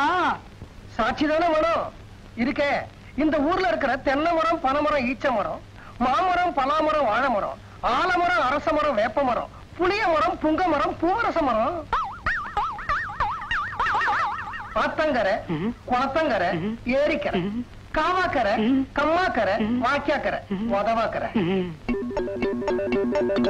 பாம்பு பள்ளி பாச்சா. தேடு பூராங்கீரி. நாய் நரி ஓனா. ஈ எறும்பு கொசு. இது எல்லாத்தையும் விட பெரிய சாட்சி எங்கிட்ட இருக்கு. எதுக்கு? தப்பான ஒரு பொம்பளை வீட்டுக்கு அந்த ஆளு போனதுக்கு. என்ன சாட்சி? அவர் கால்ல இருக்கிற சூடு. கால்னா வலது காலா இடது காலா? வலது கால் தான் வலது கால்னா முட்டிக்கு மேலையா முட்டிக்கு கீழையா? முட்டிக்கு மேலதான் தொடையில. தொடைனா முன்பக்க தொடையா பின்பக்க தொடையா? முன்பக்கம் தான் உன் பேர் என்னம்மா? அஞ்சல. அஞ்சல? நீ மாட்டிக்கின? ஐயா உபதலைவரே ஐயா. நல்லா கேட்டுக்குங்க. அந்த பையன் தொடையில இருக்கிற சூடுதான் முக்கியமான சாட்சியா. ம். என்னை விட வயசுல பெரியவங்க எல்லாம் அந்த கூட்டத்துல இருப்பீங்க. தொடையில சூடு போட்டா அந்த இடத்துல தழும்பு இருக்குங்கிற விஷயம் உங்களுக்கு தெரியுமல்ல. அம்மா தாய் குலமே இது ஒரு தப்பும் பண்ணாத ஒரு அப்பாவி பையனுடைய வாழ்க்கை போராட்டம். அதனால அவருடைய தொடைய உங்க முன்னாடி காட்ட வேண்டிய நிர்பந்தம் எனக்கு ஏற்பட்டு போச்சு. தயவு செய்து கண்ணை முடிக்குங்க. இஷ்டம் இருக்கிறவங்க பாத்துக்கலாம் என்னங்க? நான் உங்களுக்கு 200 ரூபாய் பணம் எது கொடுத்தேன்? வாசிக்கிறத நிறுத்துறதுக்குங்க. அந்த பணத்தை திருப்பி கொடுங்க. அந்த நூறு ரூபாய் கொடுத்தாரு? வாசிக்கிறதுக்குங்க. வாசிங்க. வாசிப்பா. பத்தாயப்பா.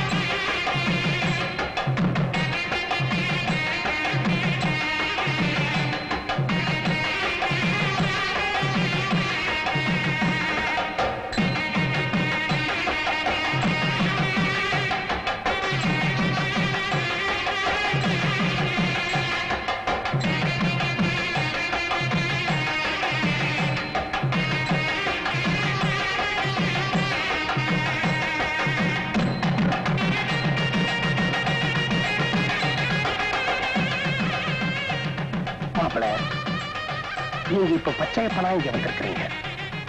நீங்க நகத்தை கடிச்சீங்கன்னா நீங்க டைரக்டர் சக்கரவர்த்தி தான் அவங்க கண்டுபிடிச்சிருவாங்க. ஒரு ஏக்கரா நிலம் கூட இல்லாம என் பொண்ணை உனக்கு கட்டித்தர மாட்டேன் அப்படின்னு பச்சையப்பன் கிட்ட சொன்ன அஞ்சலையோட அப்பன் யாரு? நான் தாங்க. பாத்தீங்களா? பத்து ஏக்கரா நிலம். பச்சையப்பன் பேர்ல பதிவு பண்ணதுக்கான பத்திரம். இது எந்த ஊர்ல இருக்குதுங்க? வங்காள விரிகுடால அது எந்த ஜில்லாவுல இருக்கு? சேலம் ஜில்லாவுல. அட நம்ம ஊர் பக்கம் தான் எங்க அங்க தண்ணி வசதி எல்லாம் எப்படி? எட்டி பார்த்தா எங்க பார்த்தாலும் தண்ணி இறங்கி பார்த்தா தலைக்கு மேல தண்ணி. அப்படிங்களா? ரொம்ப சந்தோஷங்க. குடிங்க. வேண்டிய அளவுக்கு தண்ணியை குடிங்க. ஆஹா. என்ன உபதலைவா? ஒண்ணுமே பேச மாட்டேங்கிறீங்க? அதான் வாய் அடைச்சிட்டீங்களே. அச்சேப்பா.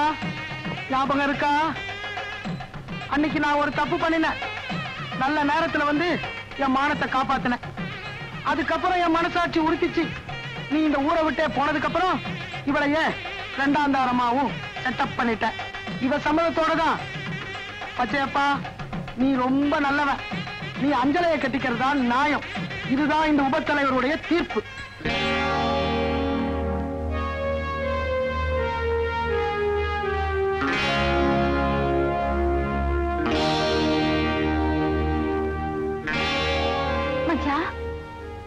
அன்னைக்கு உனக்கு சூடு போடுறப்ப நான் தான் அந்த வீட்ல இருந்தேனே. அது வந்து அது வந்துமா? டைரக்டர் சக்கரவர்த்திக்கு போட்ட சூடுமா? பட்டணத்துல மச்சான் வீட்ல கைத்துக்கட்டுல உட்கார்ந்து இருந்தப்ப நானே என் கையால தடவி பார்த்தேனே. ஐயோ அதுவும் டைரக்டர் சக்கரவர்த்தி தாமா அவன் பெரிய மோசக்காரன். ஜகஜால கில்லாடி. இன்டர்நேஷனல் ஃப்ராடு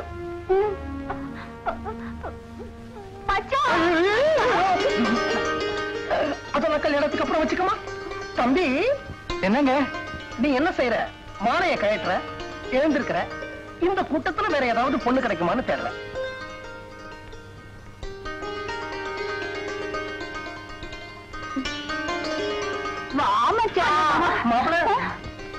என்னம்மா அது? அதுக்குள்ள என்ன அவசரம்? நான் ஆளை மாத்த வேணாமா? இது அது அது அது வந்து நான் ட்ரெஸ் மாத்த வேணாமா? நீ புது புடவையோட இருக்கிற உன் மச்சானோ புது வேட்டி புது சட்டை போட்டு தந்ததுன்னா நல்லா இருக்கும்? நான் போய். புது வேட்டி புது சட்டை போட்டு உன் மச்சானையே கூட்டிட்டு வரேன். உன் மச்சானையே கூட்டிட்டு வரேன். வாப்பா.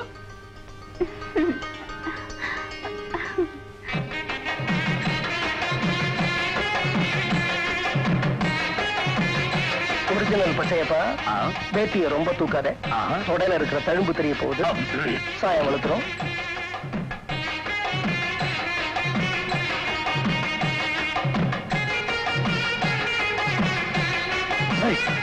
எந்திரி என்ன தைரியம் அந்த உப தலைவர் பக்கத்துல உட்கார்ந்து இருக்க எழுதி.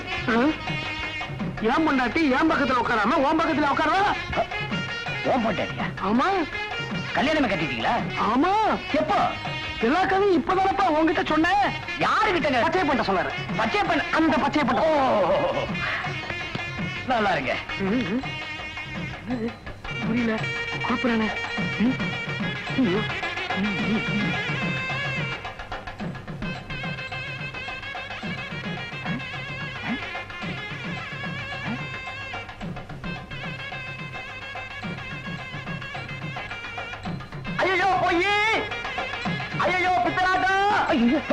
ஐயோ ஆள் மாறாட்டம் உபதலைவா ஒரேங்க இங்க ஒரு பத்திய பேர் இருக்கா?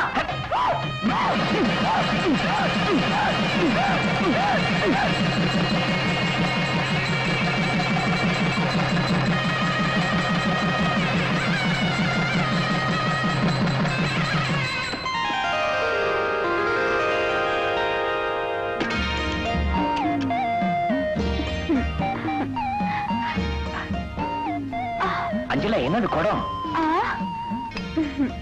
மசாலா பால். இவ்வளவா? சரி சரி. ஈயா.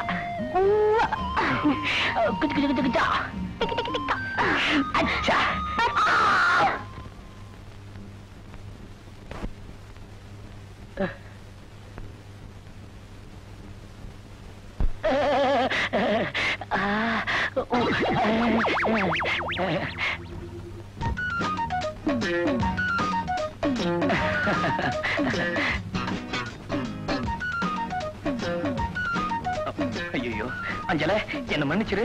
மனப்பந்தல தொடைய காட்டினதான் டைரக்டர் சக்கரவர்த்தி. ஆனா உனக்கு தாலிய கட்டது நான் தான்.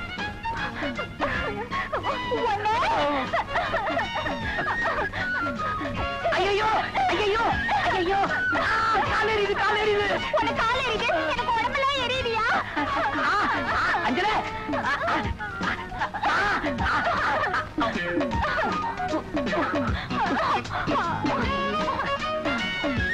கடலை பப்பி வேணுமா?